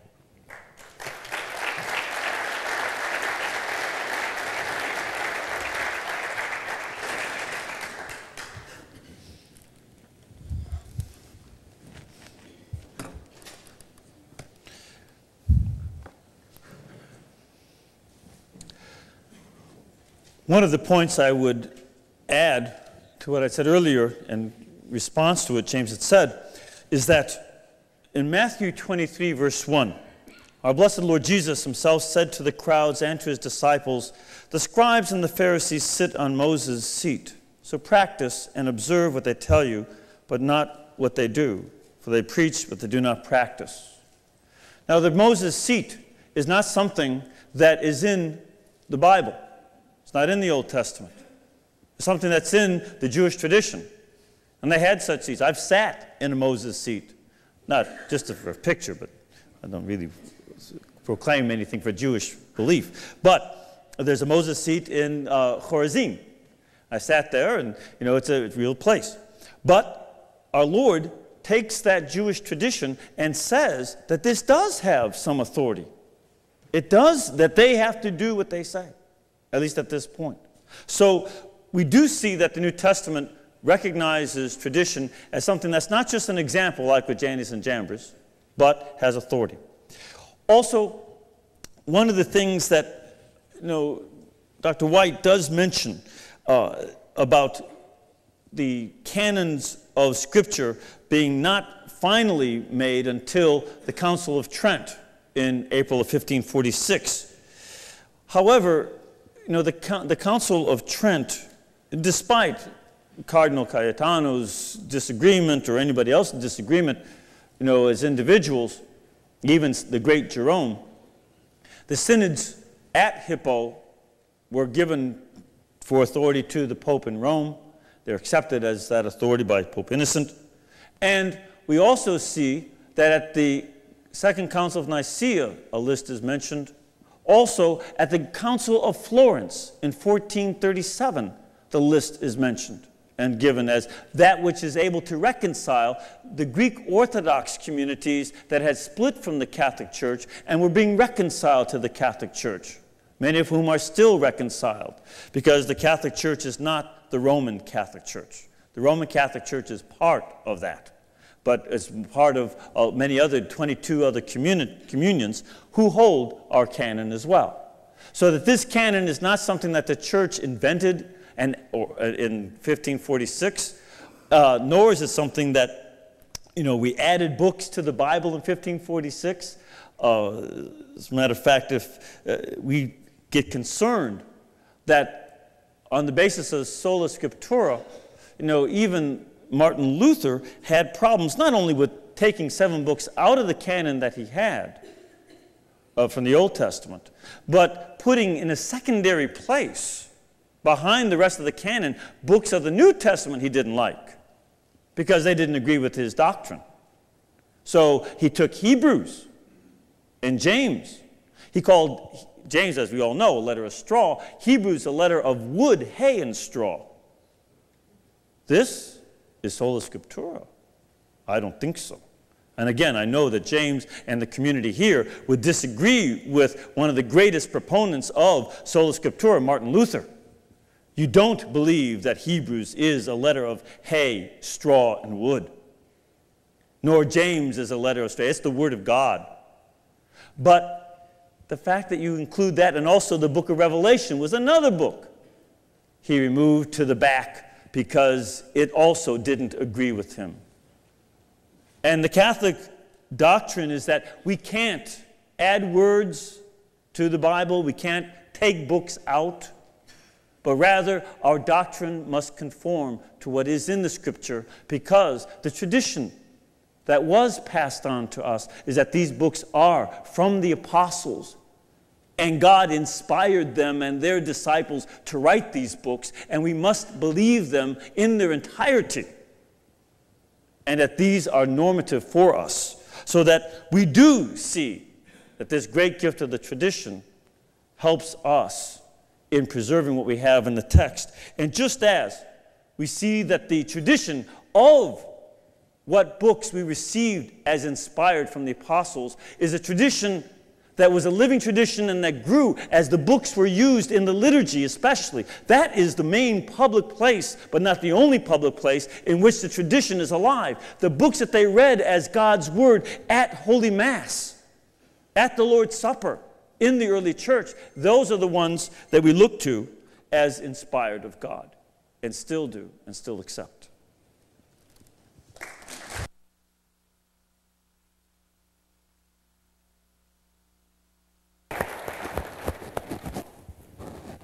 Before we have our uh, final time of cross-examination, we have to give our audiovisual team a uh, chance to just change some videotapes. Uh, actually, that's already been done. Uh, perhaps if someone could move the lectern to the side for us here, we'll proceed with another time of cross-examination. And uh, Father Pacwa will again get the first opportunity with questions. Is that right?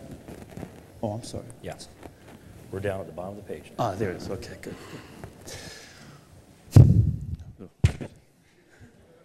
Breathing too hard. Um, so, I guess I was, hadn't really formulated my question. Um, in terms of the, the councils that pre existed Trent, uh, do you see them as having the, this kind of authority? You know, the, the, the count, you know, well before Trent. Uh, as a matter of fact, you know, I don't know that we have ancient copies, you know, of the, the Bible, you know, copies before Trent that don't have, um, you know, the, for instance, Hebrews and James. You know, so uh, what, what would be then the norm for keeping for uh, the, the canon of the Pharisees, which is what's used in the Protestant church, as distinct from the canon of the Alexandrian Jews, which is used in the Catholic and Orthodox Church? Well, I would disagree that there was a differentiation between the Palestinian and Alexandrian canons, and I would refer you to the oh. rather monumental 1985 work of Roger Beckwith called mm-hmm. The Old Testament Canon, the New Testament Church, mm-hmm. where he demonstrates from Philo that there was not a separate canon and that in point of fact, the canon of the Old Testament had been fixed and was in place in the laying up of the books in the temple and so on and so forth, and the 22 books mentioned by Josephus, uh, even before the time of Christ. And as a result, when you asked about the, the councils, Uh, I think that there's very good and credible evidence that the canon list uh, that is attributed to the Council of Rome in 382 actually comes from Gelasius in 495.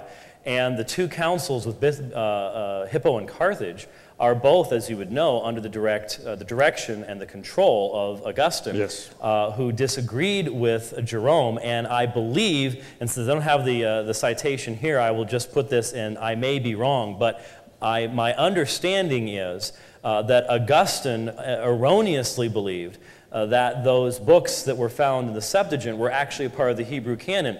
He was, a, he was wrong about that, but he erroneously believed that, and that was part of his reasoning.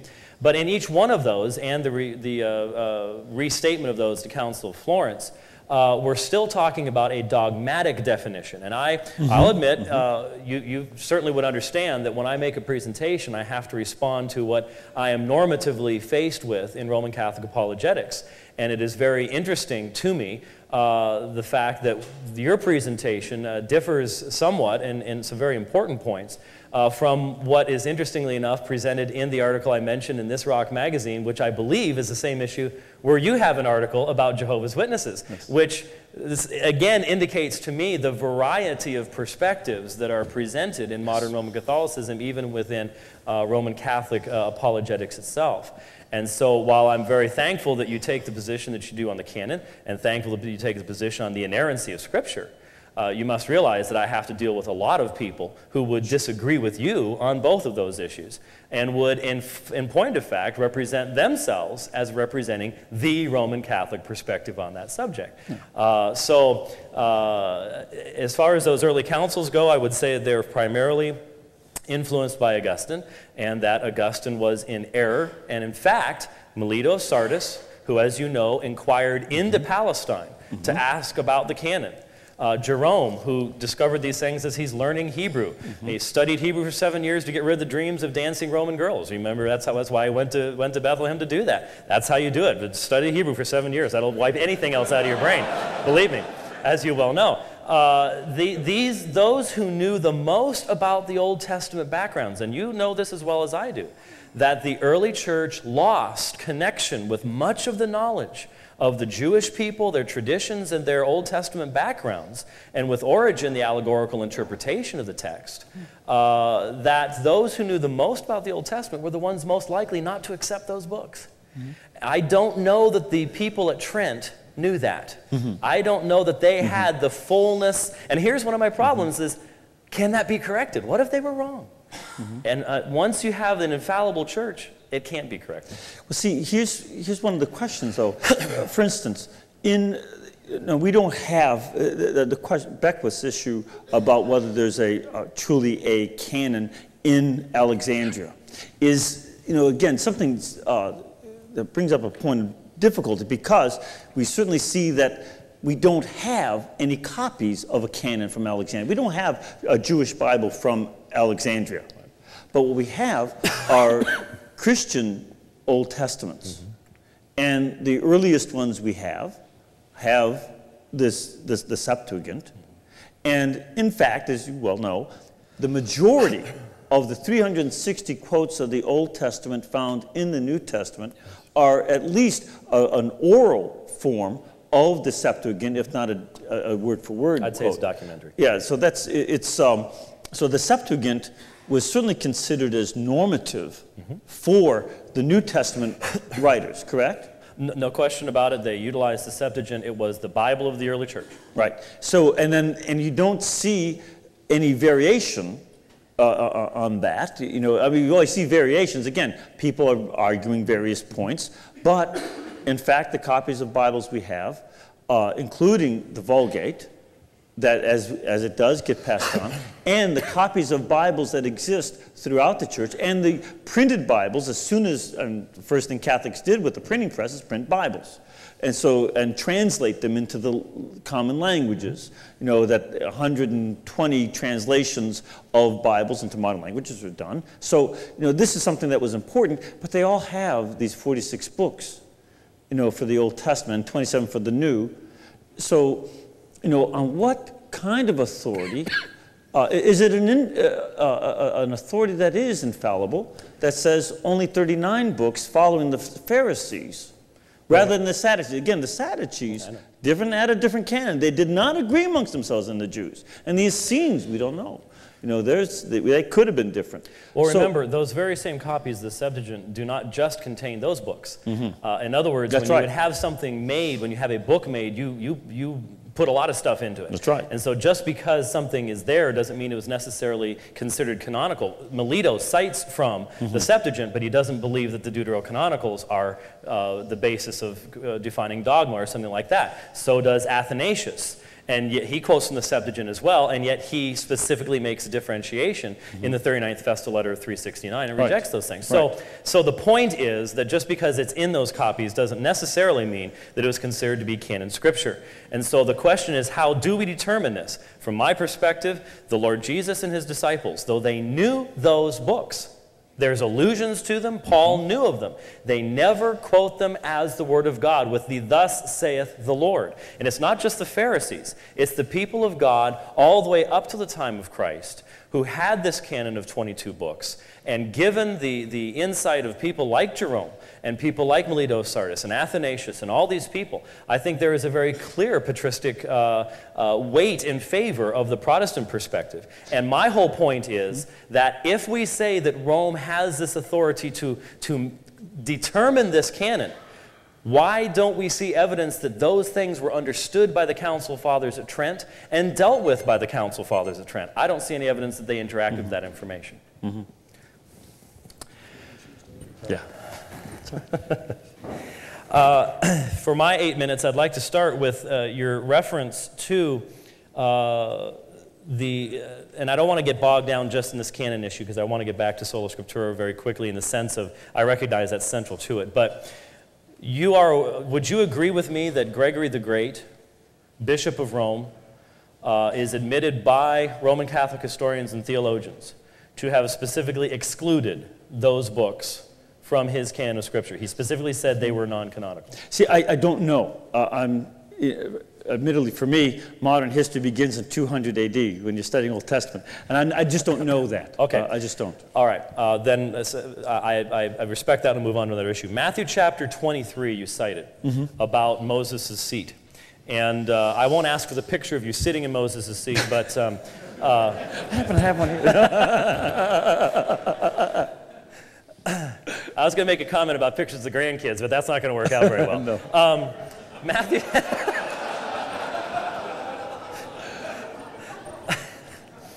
Is it, I, I did not fully understand. I- again, I have heard this passage cited so many times by so many different apologists. I need to find out what your specific use of it is.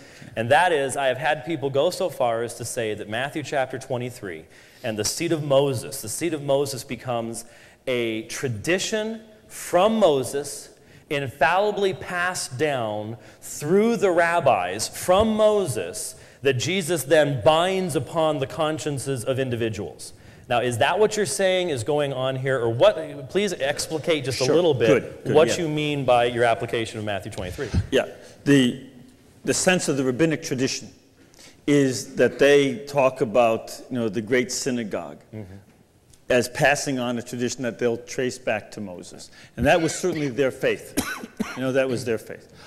And what I think our Lord is saying is that, okay, at this point, these rabbis, these Pharisees have this authority, and that they uh, practice and observe what they tell you.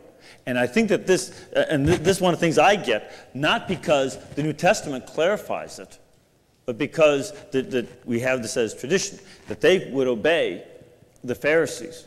And they, and they, in one sense, are accepting their authority rather than, say, an Essene authority or Sadducee authority, except insofar as Sadducees have control over the temple. And that this is an option for this, you know, that this is the group that you accept as, as authoritative in this present period. However, after the death and resurrection of Christ, then another authority, the giving of the Holy Spirit, is, is poured upon them. And this isn't very long before that. But the Holy Spirit is given to them, and they have a new authority then. And they can break, they, continue to accept the authority of Sadducees and Pharisees in certain levels.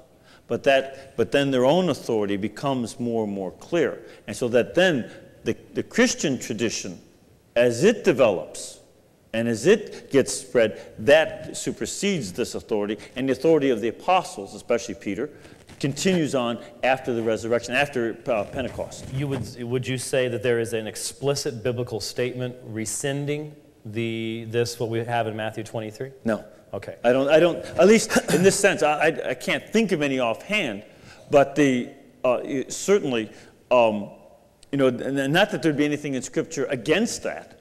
You know, again, I don't think that the Scriptures would say, you've got to keep this up. Of course it doesn't.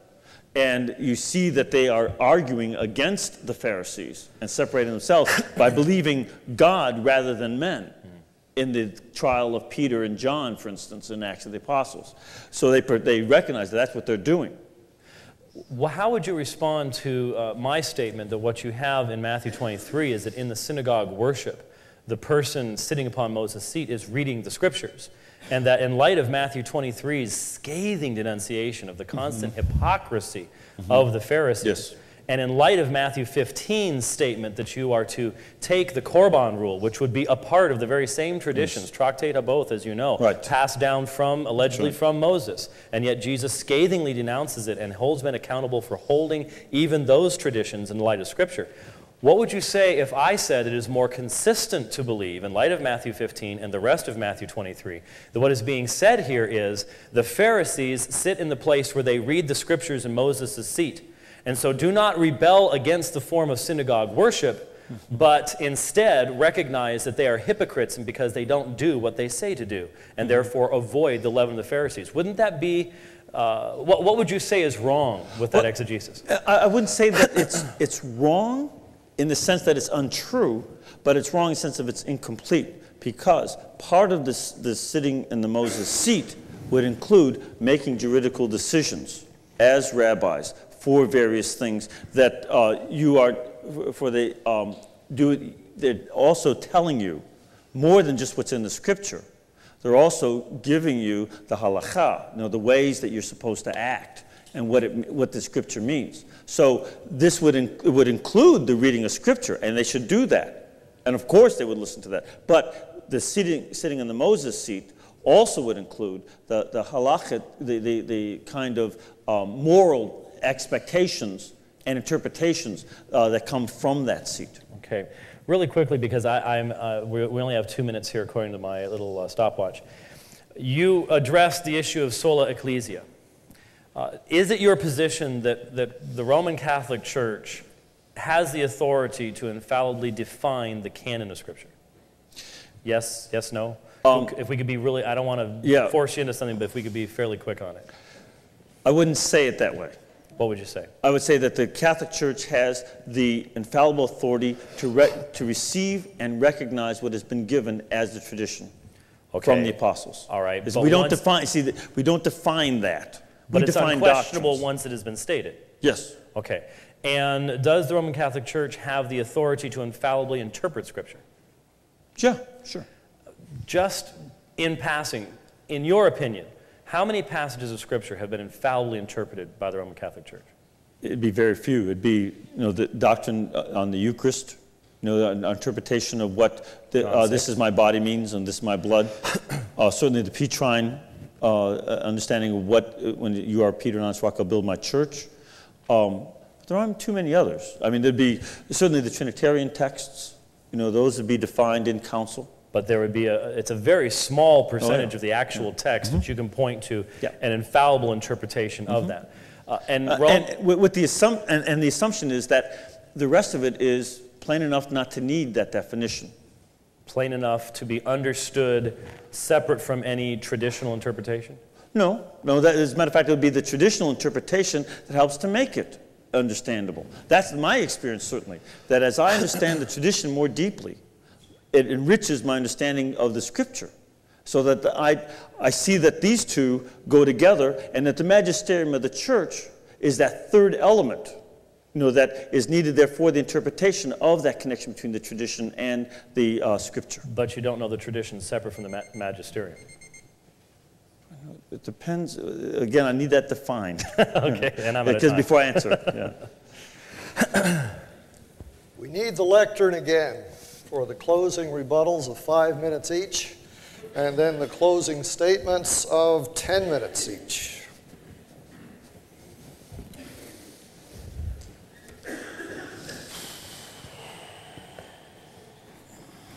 That is you.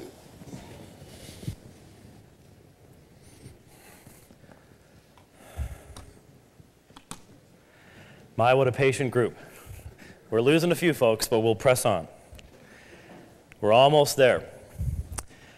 I'd like to read to you a statement from John Cassian, writing at the end of the fourth, beginning of the fifth century.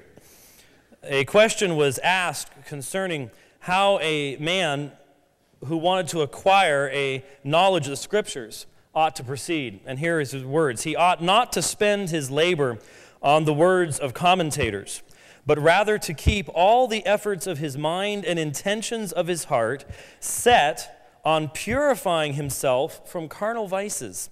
For when these are driven out, at once the eyes of the heart, as if the veil of the passions were removed, will begin, as it were, naturally to gaze on the mysteries of Scripture. Since they were not declared to us by the grace of the Holy Spirit in order that they should remain unknown and obscure, but they are rendered obscure by our fault, as the veil of our sins covers the eyes of the heart. And when these are restored to their natural state of health, the mere reading of Holy Scripture is by itself amply sufficient for beholding the true knowledge. Nor do they need the aid of commentators, just as these eyes of flesh need no man's teaching how to see, provided that they are free from dimness or the darkness of blindness. For this reason, there have arisen so great differences and mistakes among commentators because most of them, paying no sort of attention towards purifying the mind, rush into the work of interpreting the scriptures and, in proportion to the density or impurity of their heart, form opinions that are at variance with and contrary to each other's and the faith, and so are unable to take in the light of truth.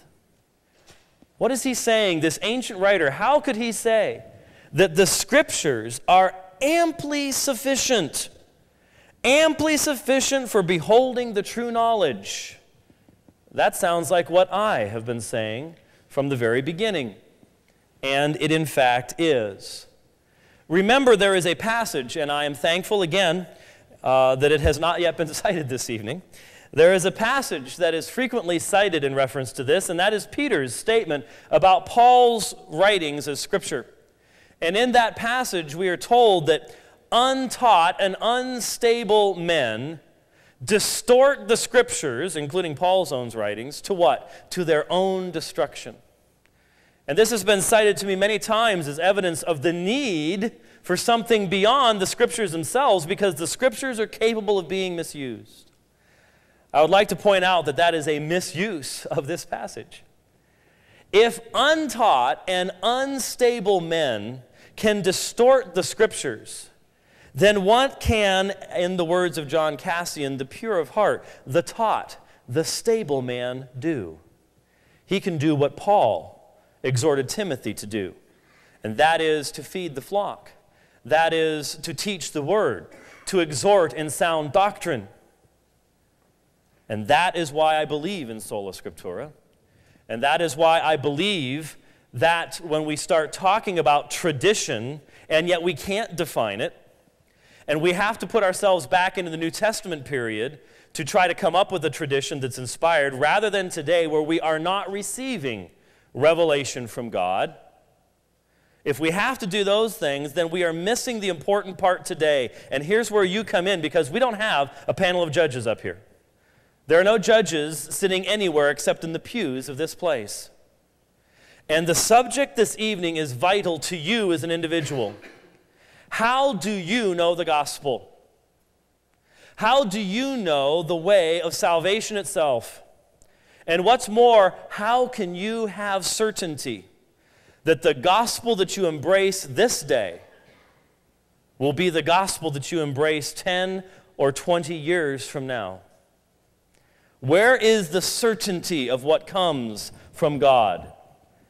I believe that it must be found in recognizing that in Scripture, God has given us the, the boundaries of His truth. And when you remove those boundaries, people go every which direction. And the result is such teachings as we have concerning Mariology, concerning the Bishop of Rome, concerning treasuries of merit that are not to be found in the apostolic teaching itself. Thank you.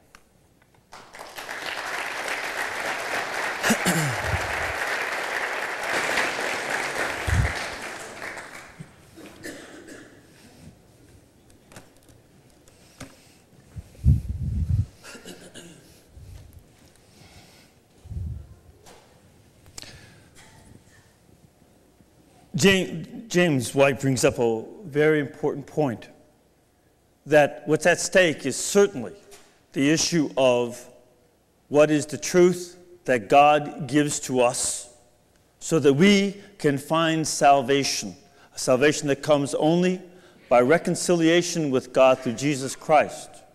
His blood is that which makes the two of us one, and more importantly, unites us to God. And this doctrine, Catholics and Protestants agree on. But having a lack of clarity on the truth is going to lead to the result that Dr. White precisely mentions. Namely, that people will scatter and they'll be driven like chaff before the wind from one place to another. And in fact, the doctrine of the treasure the, uh, of merits in the church and the subsequent doctrine of indulgence hasn't scattered the Chaldean brothers and sisters from the Latin Rite brothers and sisters in our church, nor the Greek, Byzantine, Maronite, and Coptic Christians, nor has the doctrine of purgatory and praying for the dead scattered them but rather, the amazing thing about the doctrine that we have from God, who is truth, from Jesus Christ, who is the Word of God made flesh, and who communicates this to us in tradition that's written and in tradition that is oral, is that there is a greater diversity within Catholicism's unity. This has been the exact result. So that we can have this tremendous diversity that exists and come to Holy Communion in each other's churches, though we are separated by language and small t traditions. They'll do things differently in the Chaldean church and treasure them. And I, as a Latin Catholic, treasure them too. I, I want the Chaldeans to be more Chaldean and not to become Latin, right? And that's a great diversity, but we share that unity of faith. However, the claim that sola scriptura would be able to sustain the churches has not proven true. So that within the first 80 years of the Protestant Reformation, there were already 300 churches divided on important issues. Issues as to whether or not humans have free will, whether they can once have their salvation and lose it or not lose it. And these divisions remain. And churches make all kinds of other decisions on moral questions. So that some of the sola scriptura churches allow for abortion as a morally acceptable position, others do not. Some say that it's abortion when there's rape or incest, others stay with the ancient tradition of the apostles that forbids it at any time. But this diversity has led to you know, splintering within the Christian community that is a splintering not merely of people with a unity uh, and, and, a diverse expression, but with Christians who would say amongst themselves, as Bible believing Christians, that they are not Christians. So that is one minister, uh, former Catholic, said that Billy Graham might as well go to hell now or become a Catholic, same thing for him because, because he does not believe what I believe in my church. Now, I am not in charge of Billy Graham's eternal salvation. I don't think that minister was either. But you know, this lack of the tradition has as its result this splintering. While the apostolic tradition has been precisely a gift from God. Now, is it the same kind of gift as Scripture? No. In my concluding remarks, I'll talk more about that and some of its distinctiveness. But it is a gift of God, the Word made flesh, passed on to humans of flesh, so that we humans who receive it can find that full counsel of God that brings us the salvation we need in Christ, whether we can read or whether we cannot.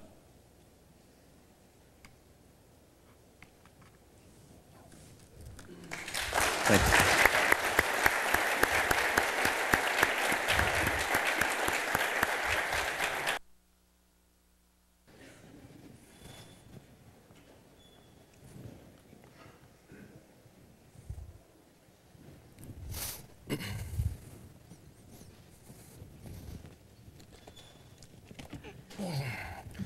I have a few resources here.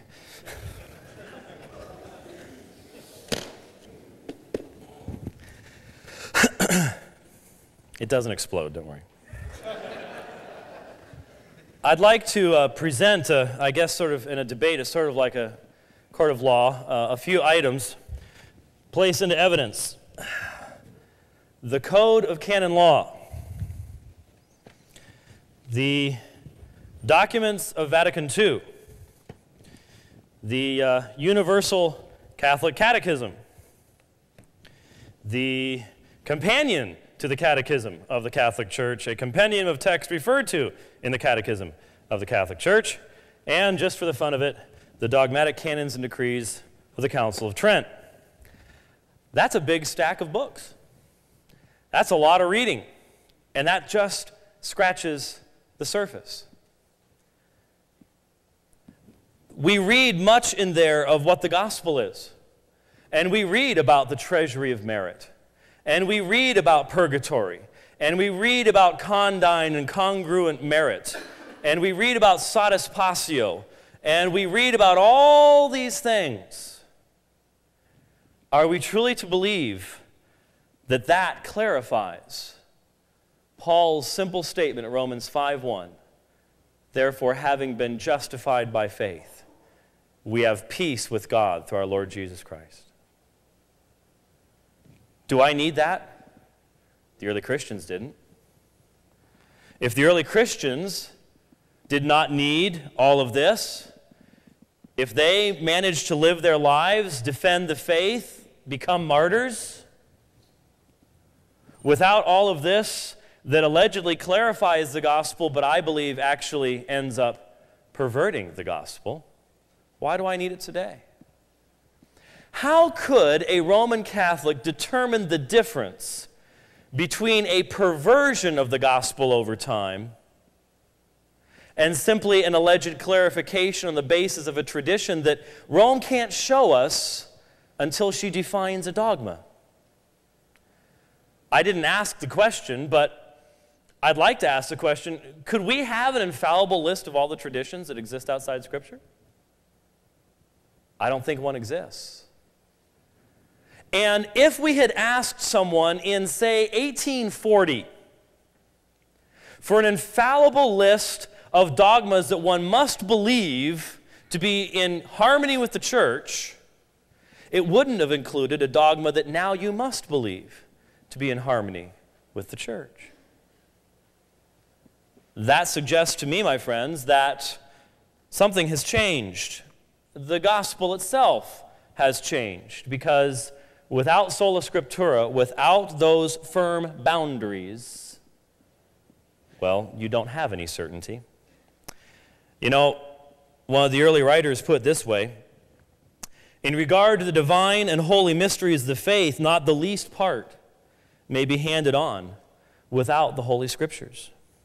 Do not be led astray by winning words and clever arguments. Even to me who tell you these things, do not give ready belief unless you receive from the Holy Scriptures the proof of the things which I announce. The salvation in which we believe is not proved from clever reasoning, but from the Holy Scriptures. That's why we have come here this evening. Sola Scriptura is not something you just have debates about because you can get a lot of folks to come out and you can get some fireworks going. Sola Scriptura is the fundamental authority issue, and all the differences that exist between Father Pacwa and myself on what the gospel is come back to what our ultimate authority is. The differences in our hermeneutics, the differences in our method of exegesis, goes back to the fact that I believe that my faith and my doctrine must be derived solely and only from that which is God breathed.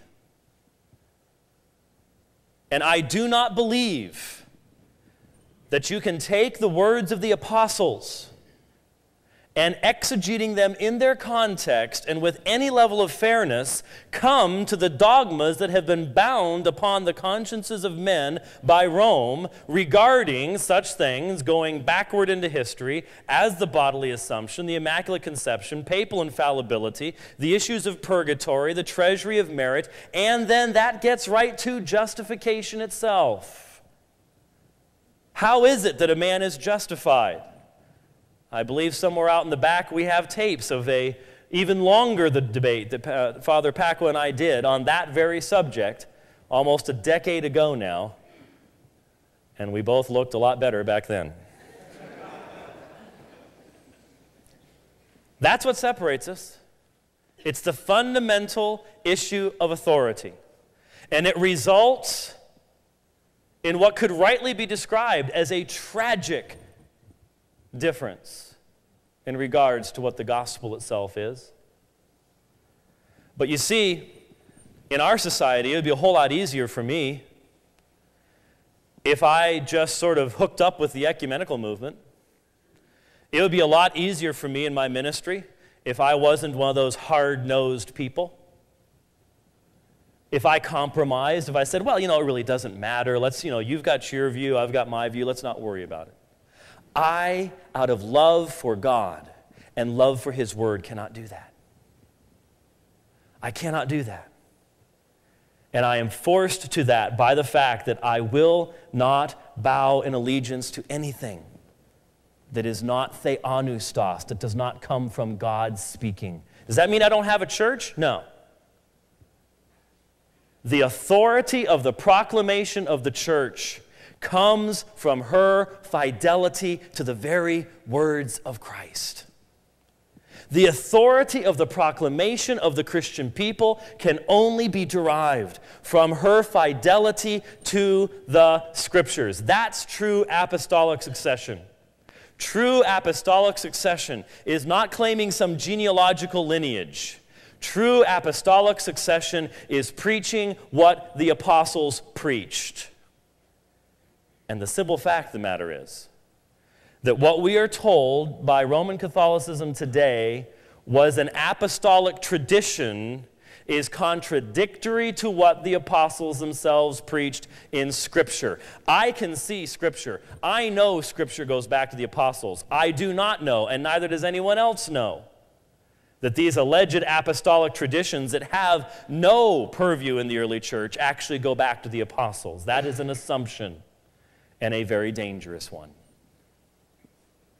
There are many today who have embraced Roman Catholicism because they heard arguments against sola scriptura and they couldn't answer them. And they say, See, I, I, I needed certainty about the canon, and so I've embraced Roman Catholicism you didn't get certainty. You see, the decision that you made was a fallible decision. And you can't get any more certainty out of that than what you used when you first embraced it. It's a bit of a shell game.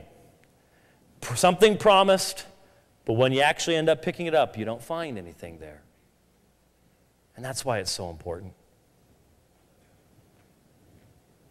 This evening, you have chosen the best thing. You could have gone and seen films and movies. You could have entertained yourself. You could have maybe earned some more money. There's a lot of things you could have done. You came here. In our society, you are to be commended. because our society thinks that all of us, whatever side you're on, are probably pretty nutty for having spent an entire evening listening to Father Pacwa and I up here discussing this subject. Some of you I know have traveled from a long distance, and I thank you for coming. But I truly hope and pray that you will consider well what has been said and consider well the impact concerning what the nature of the gospel is and the great difference that exists between the two sides. I would like to thank Father Pacwa for coming and being here. I would like to thank him for being the gentleman that I knew he would be in our dialogue and our discussion. We can disagree in an agreeable fashion. We can disagree and say, You are wrong. The difference between us is that when we uh, disagree, we both admit that it results in a fundamental separation of the directions that we are going.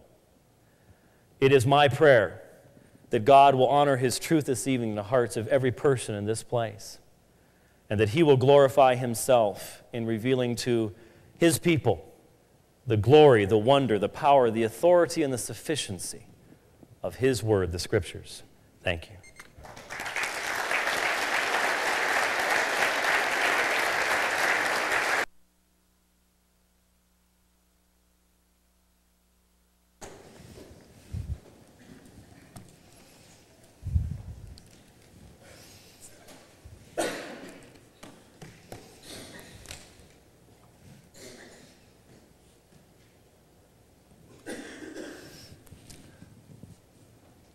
As James put it well, we disagree, we go in a very different direction.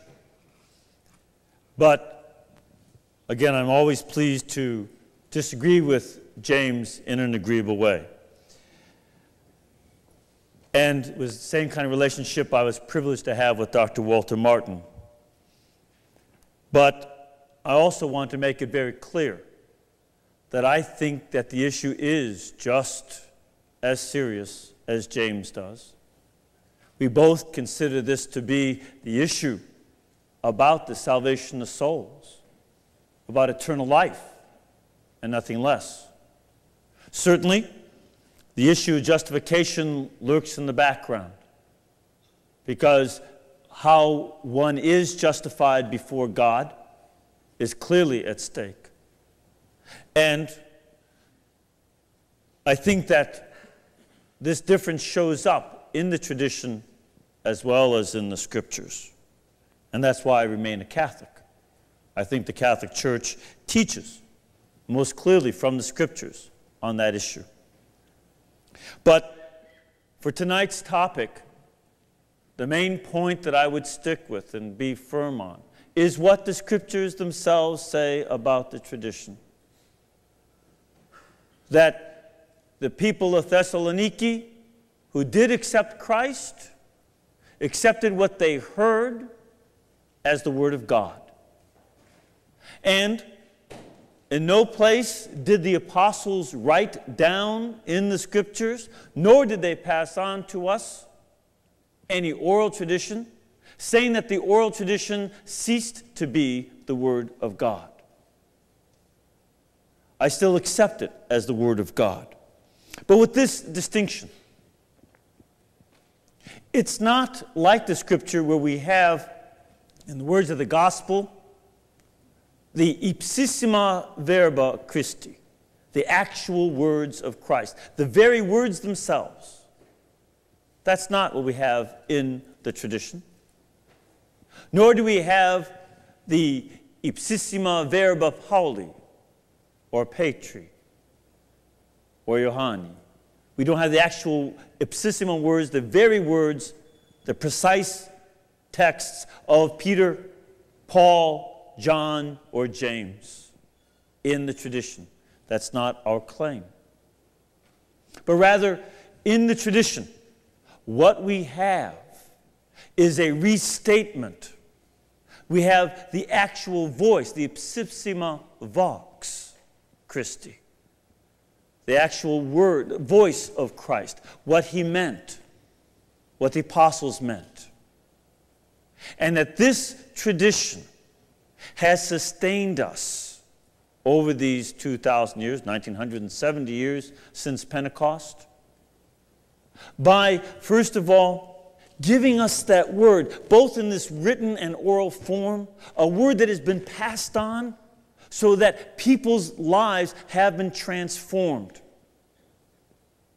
And we've also seen in these words, which we believe as Catholics, and we state in the Council of Trent and in the Council of the Vatican, Vatican II, that Christ, the Word of God made flesh, has revealed himself, and he is the source of revelation, he is the content of revelation, he is the purpose of revelation. But he has established this oral and written tradition, inspired both, and given us a magisterium, a teaching authority to interpret it so that it makes sense. And yes, the books you see here are all kinds of additions, but are there not new problems? And doesn't the church have the need to speak about the new problems and new situations of the world? Is not the situation of slavery that occurred in the late medieval, early Renaissance Europe and continued on into bloody war in our own shores, something that the church had to say and speak about, so that as soon as slavery started, the Pope could condemn it, and enslavement of the people of Africa was put under an anathema and an excommunication, as it should have been and Catholics who disobeyed the magisterium of the church were the ones who brought this bloodiness upon us.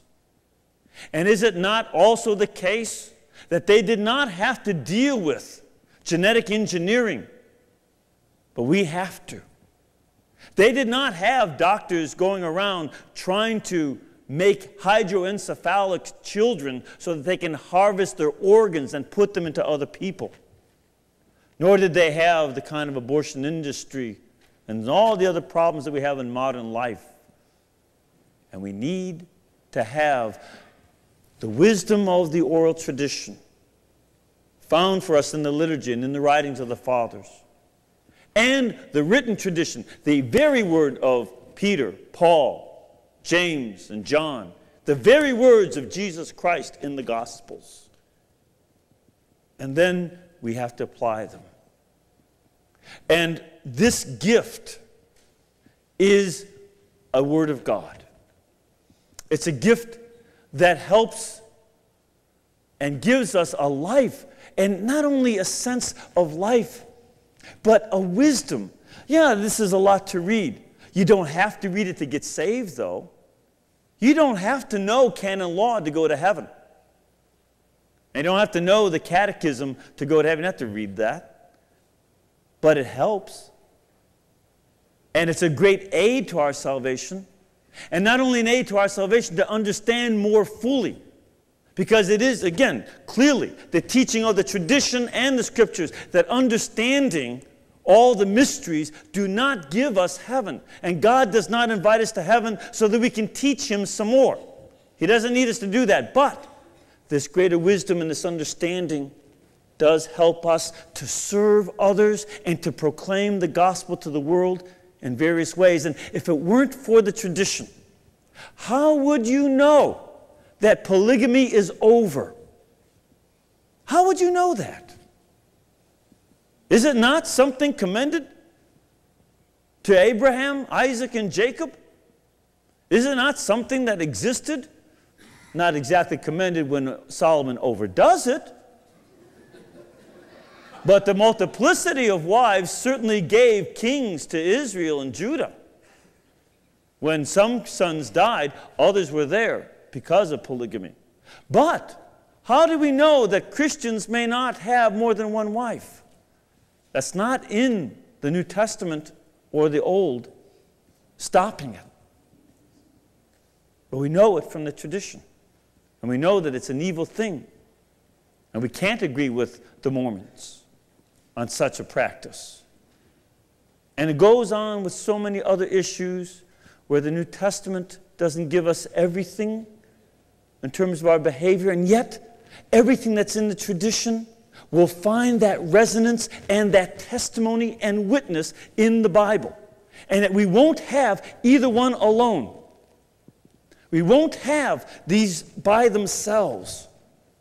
And I thank God for the gift of the tradition because it gives my church not a freewheeling diversity that destroys us, but rather with the scriptures we can say, as St. Paul taught us in Ephesians chapter 4, that there is one God, one faith, and one church. Christ founded the church on Peter. And he founded the church as the pillar of truth, which does not shake. And it gives us this church as a community that is not just an organization to try and control and give more books to read and buy, but rather it's the beloved bride of Christ.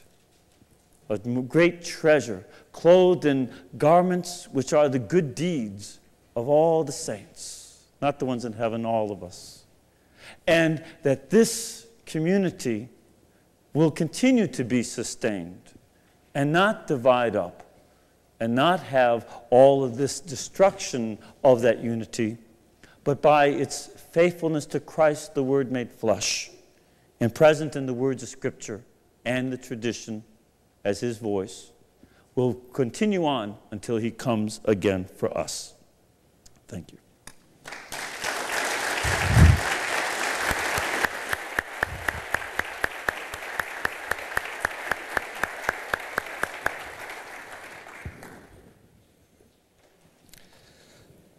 Certainly grateful not only for our two speakers this evening, but I also wanted to express our thanks to New Life Orthodox Presbyterian Church for hosting this debate. And since Pastor, yes, thank you. We're going to have questions now. Uh, there are microphones you see in each of these three aisles, I see, and you're making your way there. I'll remove this so that you can see the answers, uh, the answers to the questions being given. I'm going to try to have the questions uh, alternate between uh, our debaters. And we'll start here to my left. Yes, sir. I have a question for uh, uh, Mr. White. Um, first of all, I'd like to say thank you very much for a very academic, as an academic, uh, I appreciate a very academic and professional debate, and uh, which I don't see all that often. So thank you very much. Um, and it's very contrary to what we've been seeing in the media a lot. There was very little rhetoric, and uh, that was great. Um, but uh, my question has to do with epistemology, because it seems to be brought up in a lot in what we were discussing, and that's the issue of how we know. Um, how do we know uh, the gospel was a question that was asked, and how do we know the proper interpretation of Scripture, and how do we know where the canon is? I know it was said, how do we know what uh, the canon is, or how do we know there is a canon, but I think the more proper question is, how do we know where it is? And in relation to these questions, or the question of knowledge, um, in reference to what Mr. White had said regarding uh, when a Roman Catholic says that without the infallible or the authoritative church, um, one cannot know where the canon is or know what the proper interpretation of the canon is. Uh, Mr. White says, well, the historical arguments given by Catholics don't fare much better. That's more of a tu quoque fallacy and doesn't get you out of the problem. And the way I would state the question is this, and also an answer to your question for a non-historical argument is that this, since the Protestants cannot, within their own worldview, within their own theology, give a justification for how they know what the proper inter interpretation of Scripture is or where the canon is, that aside from a subjective view, for example, the right of private judgment or the interdwelling of the, or intertestimony of the Holy Spirit, without those sorts of subjective claims, Without the infallible church, the Protestant cannot know any of these things and a whole lot more. And so the argument is, a lot of Orthodox Presbyterians will understand this argument. It's the, it's the argument by the impossibility of the contrary. Uh, excuse no, no, me, I thought is, you were coming to the question, right. the precise, sharp question. The question, Well, there's a lot of background. The question the- is, we don't have time so for the the question is- background. If we so could the get question to is- the question. so the question is, how does the Protestant know these things? And the argument is that the Catholic knows by the impossibility of the contrary, that if you deny Well, the church, then you deny the ability to know. And so I'd just well, like obviously, uh, I reject the assertion that a Protestant cannot know how to exegete Scripture. God has spoken in our language. God designed us. And God is able to reveal himself clearly in the language. And in point of fact, God incarnate in Jesus Christ, and by the way, I, I'll pick that up. One minute if it's addressed to you and 30 seconds to comment. Would that be all right? Yeah, whatever. It's, if there's a need. How about if we, uh, how about if we just let the one question answer at this point? We've had a lot of rebuttal. Yeah. okay, the- all right. Yeah. Okay, so one, one minute to respond to each question? that's fine. If we can cu- cut the questions down to about 30 seconds? I, Yeah. I shall, I shall try harder. One, one, one, one minute responses to five minute questions don't work very well, but I, I, I totally reject the idea uh, that uh, God has created us in such a way that we cannot know what He says in His Word. I would point out that the, the entire argument, as I hear it, is so is very obviously self-contradictory because as soon as the magisterium states anything, it has to be interpreted by the person who is listening or going to the magisterium. So if you cannot know how to exegete Scripture, then you can't know how to exegete the magisterium either. Because as soon as the magisterium speaks, that is now in the same form of verbal communication, whether it's by voice or by word, that we have in Scripture or in the preaching of the apostles. So the assertion, uh, to me, seems incredibly self contradictory. Uh, and it seemingly is based upon the, the assumption that unless you have some sort of, of, of miraculous revelation of uh, the term you used was the location of the, of the canon or where the canon is, that God cannot pastorally lead his people to a recognition of it. And I would respond to the same question I've asked over and over again and I never get an answer to. And that is, be quiet, and that is, how did the believing Jewish person 50 years before Christ know that Isaiah and 2nd Chronicles were Scripture? Jesus held them accountable to Scripture. How did they know? And any answer you get will support the Protestant position, not the Roman Catholic position on that issue. Well, could I respond to that? because let, let- me just give at least a 30 second response or whatever. That Uh, you said Hey. 30 seconds? Okay. that the, um, you know, how would the, the Jew know wh- which books were there? Well, he would have to know it from his tradition, and as we know, the Jewish traditions didn't agree. So that they had competing traditions among the Pharisees and the Sadducees. So when Christ deals with Sadducees, he only can quote from Torah because the Sadducees only accepted the first five books. He couldn't appeal to the, the, the latter or early prophets. And so, uh, but with the Pharisees and their uh, associates and, and disciples, he could because they did accept those. I So- would love to respond, but I, I, we'll never get any questions. yeah, right. Well, the, the, and, the, and the other thing too is, you know, that in terms of well, but just in terms of responding to, about the, the, the magisterium, how do you interpret the magisterium? And, and this is a, a key issue. You're right, and I'm agreeing with you that you have this understandability that's given in Scripture, but it still also maintains mystery. And part of the role of the magisterium is to put the mystery into other words, which we all do when we preach. That's part of our task as preachers. With that, I'm going to look to the center aisle, and I'm going to ask uh, whether the question is for Father Pacwa. No, it's for Dr. White. Uh, how about the first person behind you who has a question for Dr. Pacwa? Okay, over here. Good evening, Dr. Pacwa. Thank you. Uh, I also would like to say I agree with you that I also hope that Governor Bush becomes the next president of the United States. um, I'd like to ask you a question uh, dealing with the issue of infallibility of Rome. And that is that Rome claims to have the infallibility to declare or to at least proclaim what scripture and oral tradition are, and also to give the, the interpretation of what both of these things mean. In light of this, how can one uh, hold Rome accountable to, or how can someone test a claim that is made by Rome, like using verses like 1 Thessalonians 5.21 or 2 uh, Corinthians 13.5, which says that we're supposed to examine ourselves to see if we are in the faith unless we fail the test, or that we should test all things, hold fast to what is good? in terms of you know testing, uh, again, this is where you know you have to take a look to test what the Catholic Church teaches. And again, we, I don't even like to say Rome. It, the city doesn't talk except maybe kind of smutty, but it's yeah, but it, but it's yeah, it's the it's the, the role of Peter. Uh, it's the role of Peter that is um, you know and, and Peter's authority, and we do have to take a look at you know what the popes say, and it's in fact in terms of dogmatic uh, teaching, it's rare. We check and see is this something that Scripture says or that Scripture contravenes? Secondly, one of the things that the Pope does himself is he consults with the laity and he asks the, you know, the, the people of God, is this something that we have? Uh, uh for instance, on the Assumption of Mary and the Immaculate Conception, that the people of God were uh, questioned through their bishops. And so we'll, we'll test it uh, over against the faith of the church.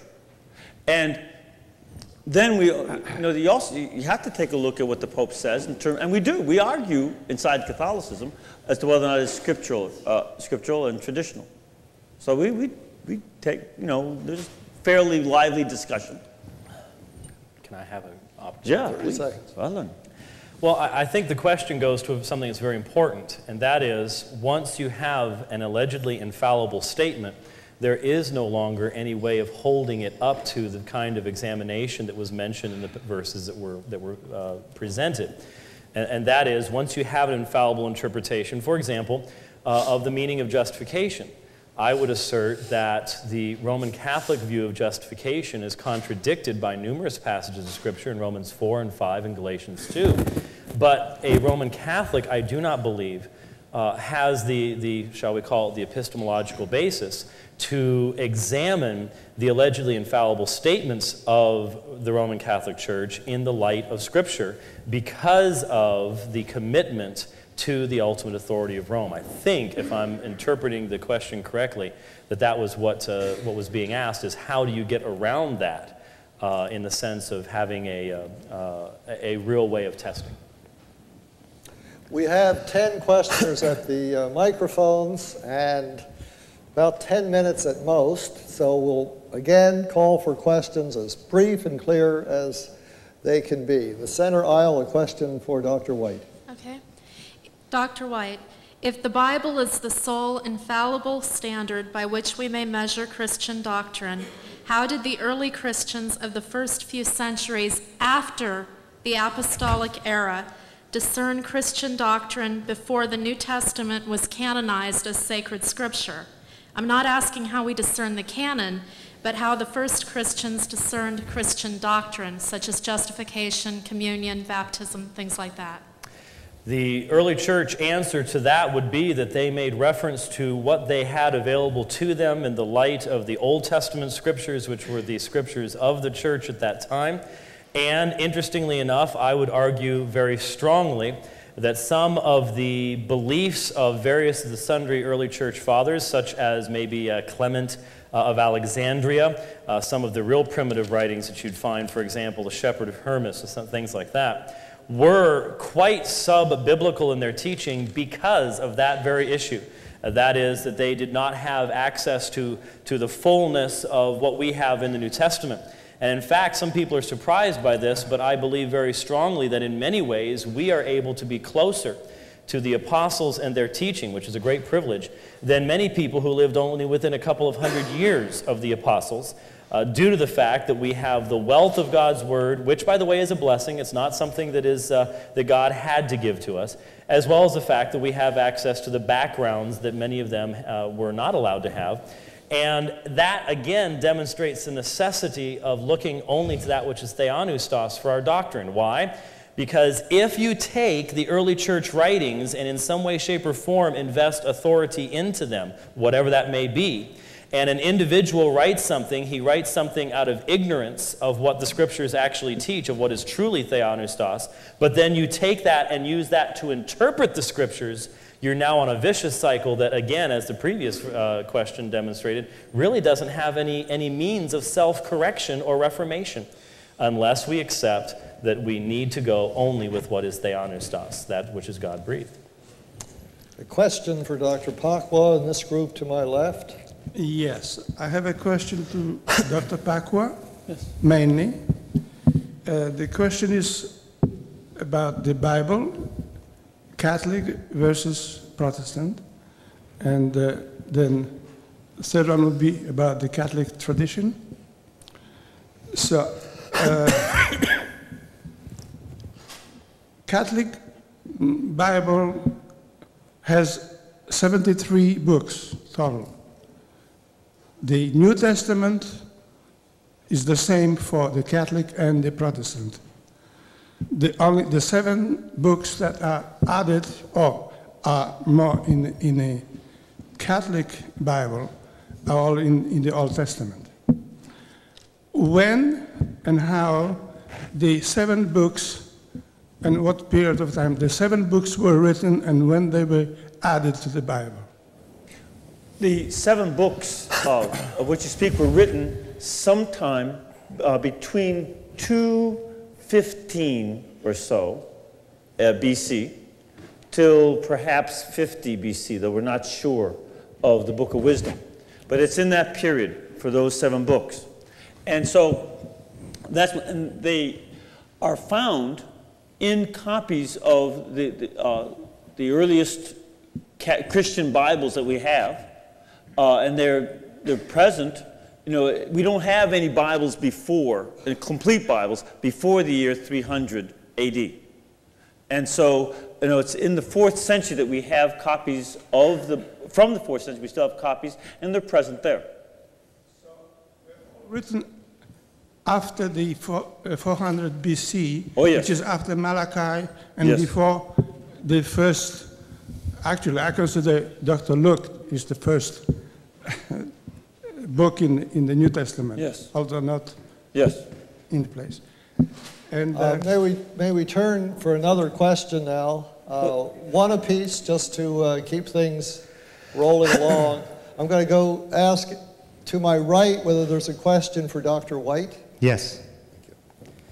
Okay, Dr. White, why do you have why do you have a problem believing that just like the Holy Spirit helped the early church see the truth of which books are Bible. Why do you have a problem believing that that same Holy Spirit can help the church see the truth today? I obviously don't. Uh, I believe that the Holy Spirit did indeed give the canon to the church. And so I, I, don't have a problem with the Holy Spirit because I believe the Holy Spirit helps his church today to understand the truth today. I just don't believe that what the Roman Catholic Church teaches is the truth that the Holy Spirit is revealing.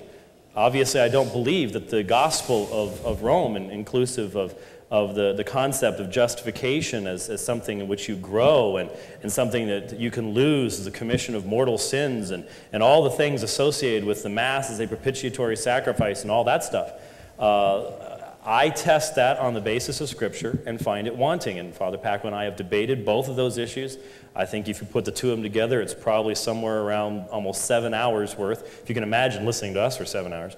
Um, and you can pick those up and, and discover why that is.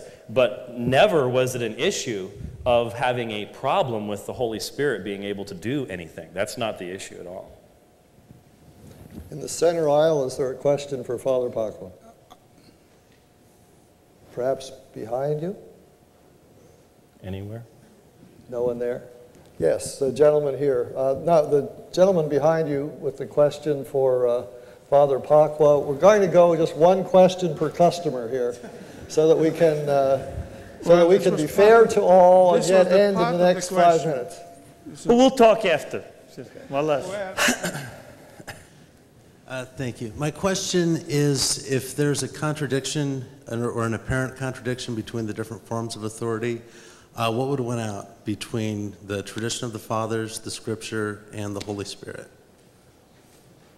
If there's a, a contradiction between the sacred tradition and the scripture and the Holy Spirit, which one would win out?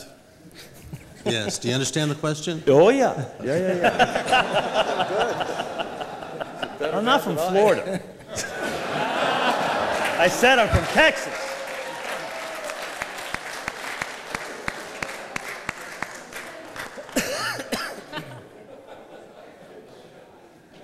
my simple, my, my simple answer, you know, in this last few seconds of our time is uh, I don't see that there's a contradiction. The Holy Spirit wins in all cases because it's the Holy Spirit who inspired the scriptures. He's not going to contradict himself there.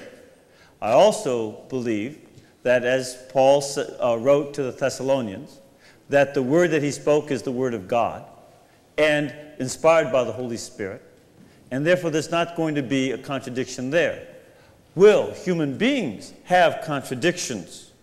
Oh, sure. As again, you know, any husband who is the God designated head of his family knows that there are contradictions. and so also will there be within us about different you know, things that go on in our understanding. But I believe that the, the Holy Spirit is the winner in all of that because he's inspired it.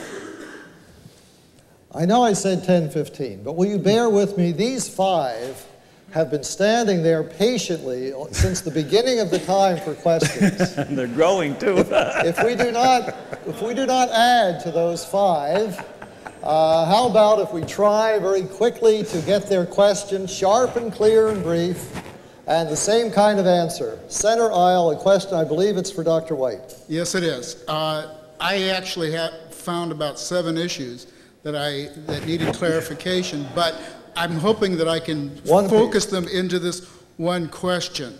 Uh, I'm aware of four passages that speak of the authority of both Scripture and tradition for the people of God, both in the Old Testament and the New Testament. I'm also aware of two passages that speak that say that Scripture must be taken in a uh, wider authoritative context.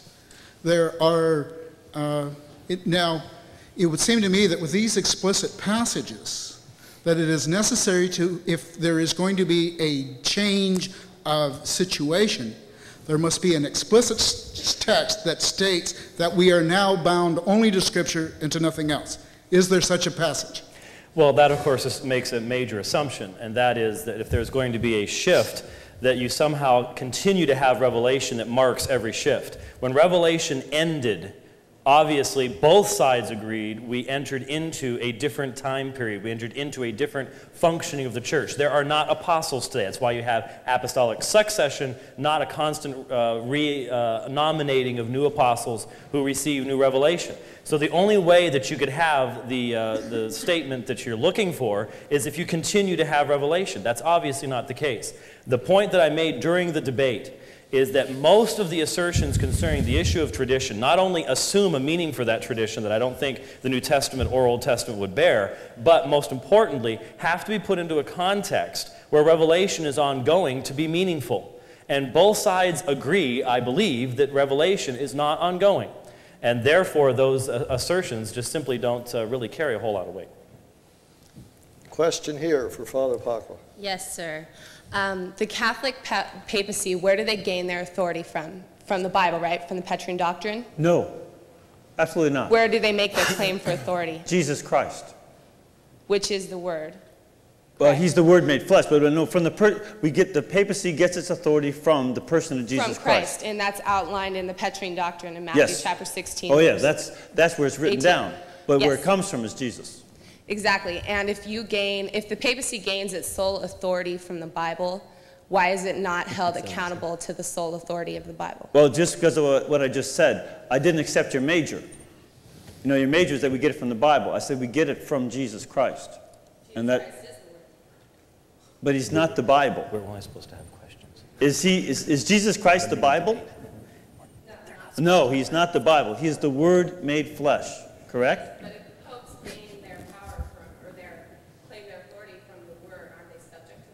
To the moderator, the moderator has had pointed out to him by a debater, Yeah. which the moderator is only in the most informal settings occasionally, that uh, in the debate questions, you're not supposed to go back and forth. Yeah, So I guess yeah. I have uh, So- not been holding to that. Okay. But we perhaps should, okay? Yeah, sure, sure. I- It's just, it's, uh, just a confusion of the, uh, the statement. No, Jesus Christ is the Word made flesh. He is God. And, uh, good, and that, that's in your Bible. But, and the authority that the Pope has, we believe, comes from the person of Jesus Christ. It's recorded in Scripture, but it comes from the person of Jesus Christ. That's our faith. Is the question for Dr. White here? For Father Pacwa. Uh, The gentleman behind, okay? I have a question for Dr. White. Um, in the caves of Qumran, uh, there was some mounting evidence about the uh, what the Protestants call the Pro- Apocrypha, or Catholics call the Deuterocanonicals, and uh, they found discovered the ancient uh, the evidence of of those early disciples using the uh, the Apocrypha or Deuterocanonicals, and also um, the reference to the uh, Deuterocanonicals or Apocrypha in the Gospel, specifically uh, Wisdom chapter 2, um, which is um, basically along the same lines of um, Isaiah, the uh, coming of the Messiah. So my question then is, what, uh, how can you have a, can you give a rebuttal on, on that evidence? Well, uh, I'm not sure that you presented much in the way of evidence. I, you said that the, the, they're known as the Dead Sea Scrolls. That's general knowledge. The question is, uh, are they taken as being scripture, is, is point A. Uh, point B, the simple fact of the matter is the New Testament writers do not use the standard terms for scripture of the apocryphal books in their citations. Uh, when you combine that with the uh, facts that are easily uh, attainable in regards to the state of, uh, of affairs in Palestine uh, at the time of the writing of the New Testament, uh, there is tremendous evidence that while they knew of these books, made allusions to these books, they were part of the, the, the, the library that they would be familiar with. They had every opportunity in the world. In fact, there were lots of opportunities where they could have gone to the apocryphal books for an allusion that might have even supported their, their case better, but they didn't. They didn't go to them because they were not considered canonical by Jesus and the apostles, and that's supposed to be what is most important to us. I do not believe that there is any apostolic tradition of the canonicity of those books uh, in any way, shape, or form. I do not believe you can prove that the apostles passed on some tradition along those lines uh, at all. And I, again, I would recommend to anyone, if you can track it down, sadly, all good books go out of print eventually, but uh, Roger Beckwith's The Old Testament Canon, the New Testament Church, 1985, uh, excellent work on that subject. Question here for uh, Father, For Father Pacwa. Pacwa. Yeah, I'm sure he's heard this a lot, but um, I was wondering if you could give us your interpretation on uh, 1 John 2.27, which in short quotes, But the anointing which you have received of him abideth in you, and you need not that any man teach you. Um, so, what, what's your question? Can you give us your quick interpretation on 1 John 2.27, which states that you need not any man that teach you? What's my interpretation? Um, yeah, that the anointing that you received would be the anointing of the Holy Spirit. Correct. And he teaches you everything. This is something that Jesus had said back in John 16, too. Correct. That, but, uh, but my question is that if you need not any man to teach you, then why would you need, in a sense, to listen to the infallibility of the Roman RCC? Uh, So you think that the anointing, therefore, is going to be that which is enough to teach us? Well, I, I guess it's the same problem that the Ethiopian eunuch had, where you know he had to say, "How can I understand unless someone explain it to me?" And you know, this the same thing that we actually see now uh, in terms of the apostles explaining the scriptures uh, to us. And St. Matthew, even in the Gospel, will put as his own editorial comments, as it is written in the prophet Isaiah. So he'll, he will explain it to us.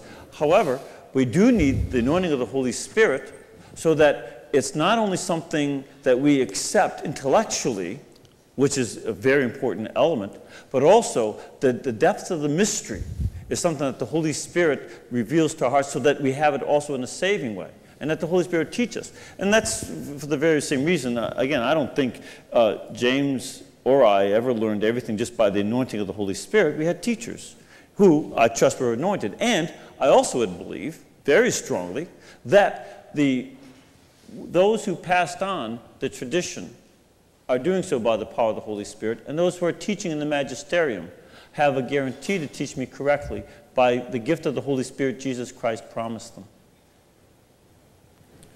And now the privilege of asking the last question of the Thank evening you. falls to the center aisle. I hope it was worth the wait. Uh, Dr. White, you mentioned 1 Timothy 3.15, Uh-huh. and you said that it's the church that holds up the truth. Right.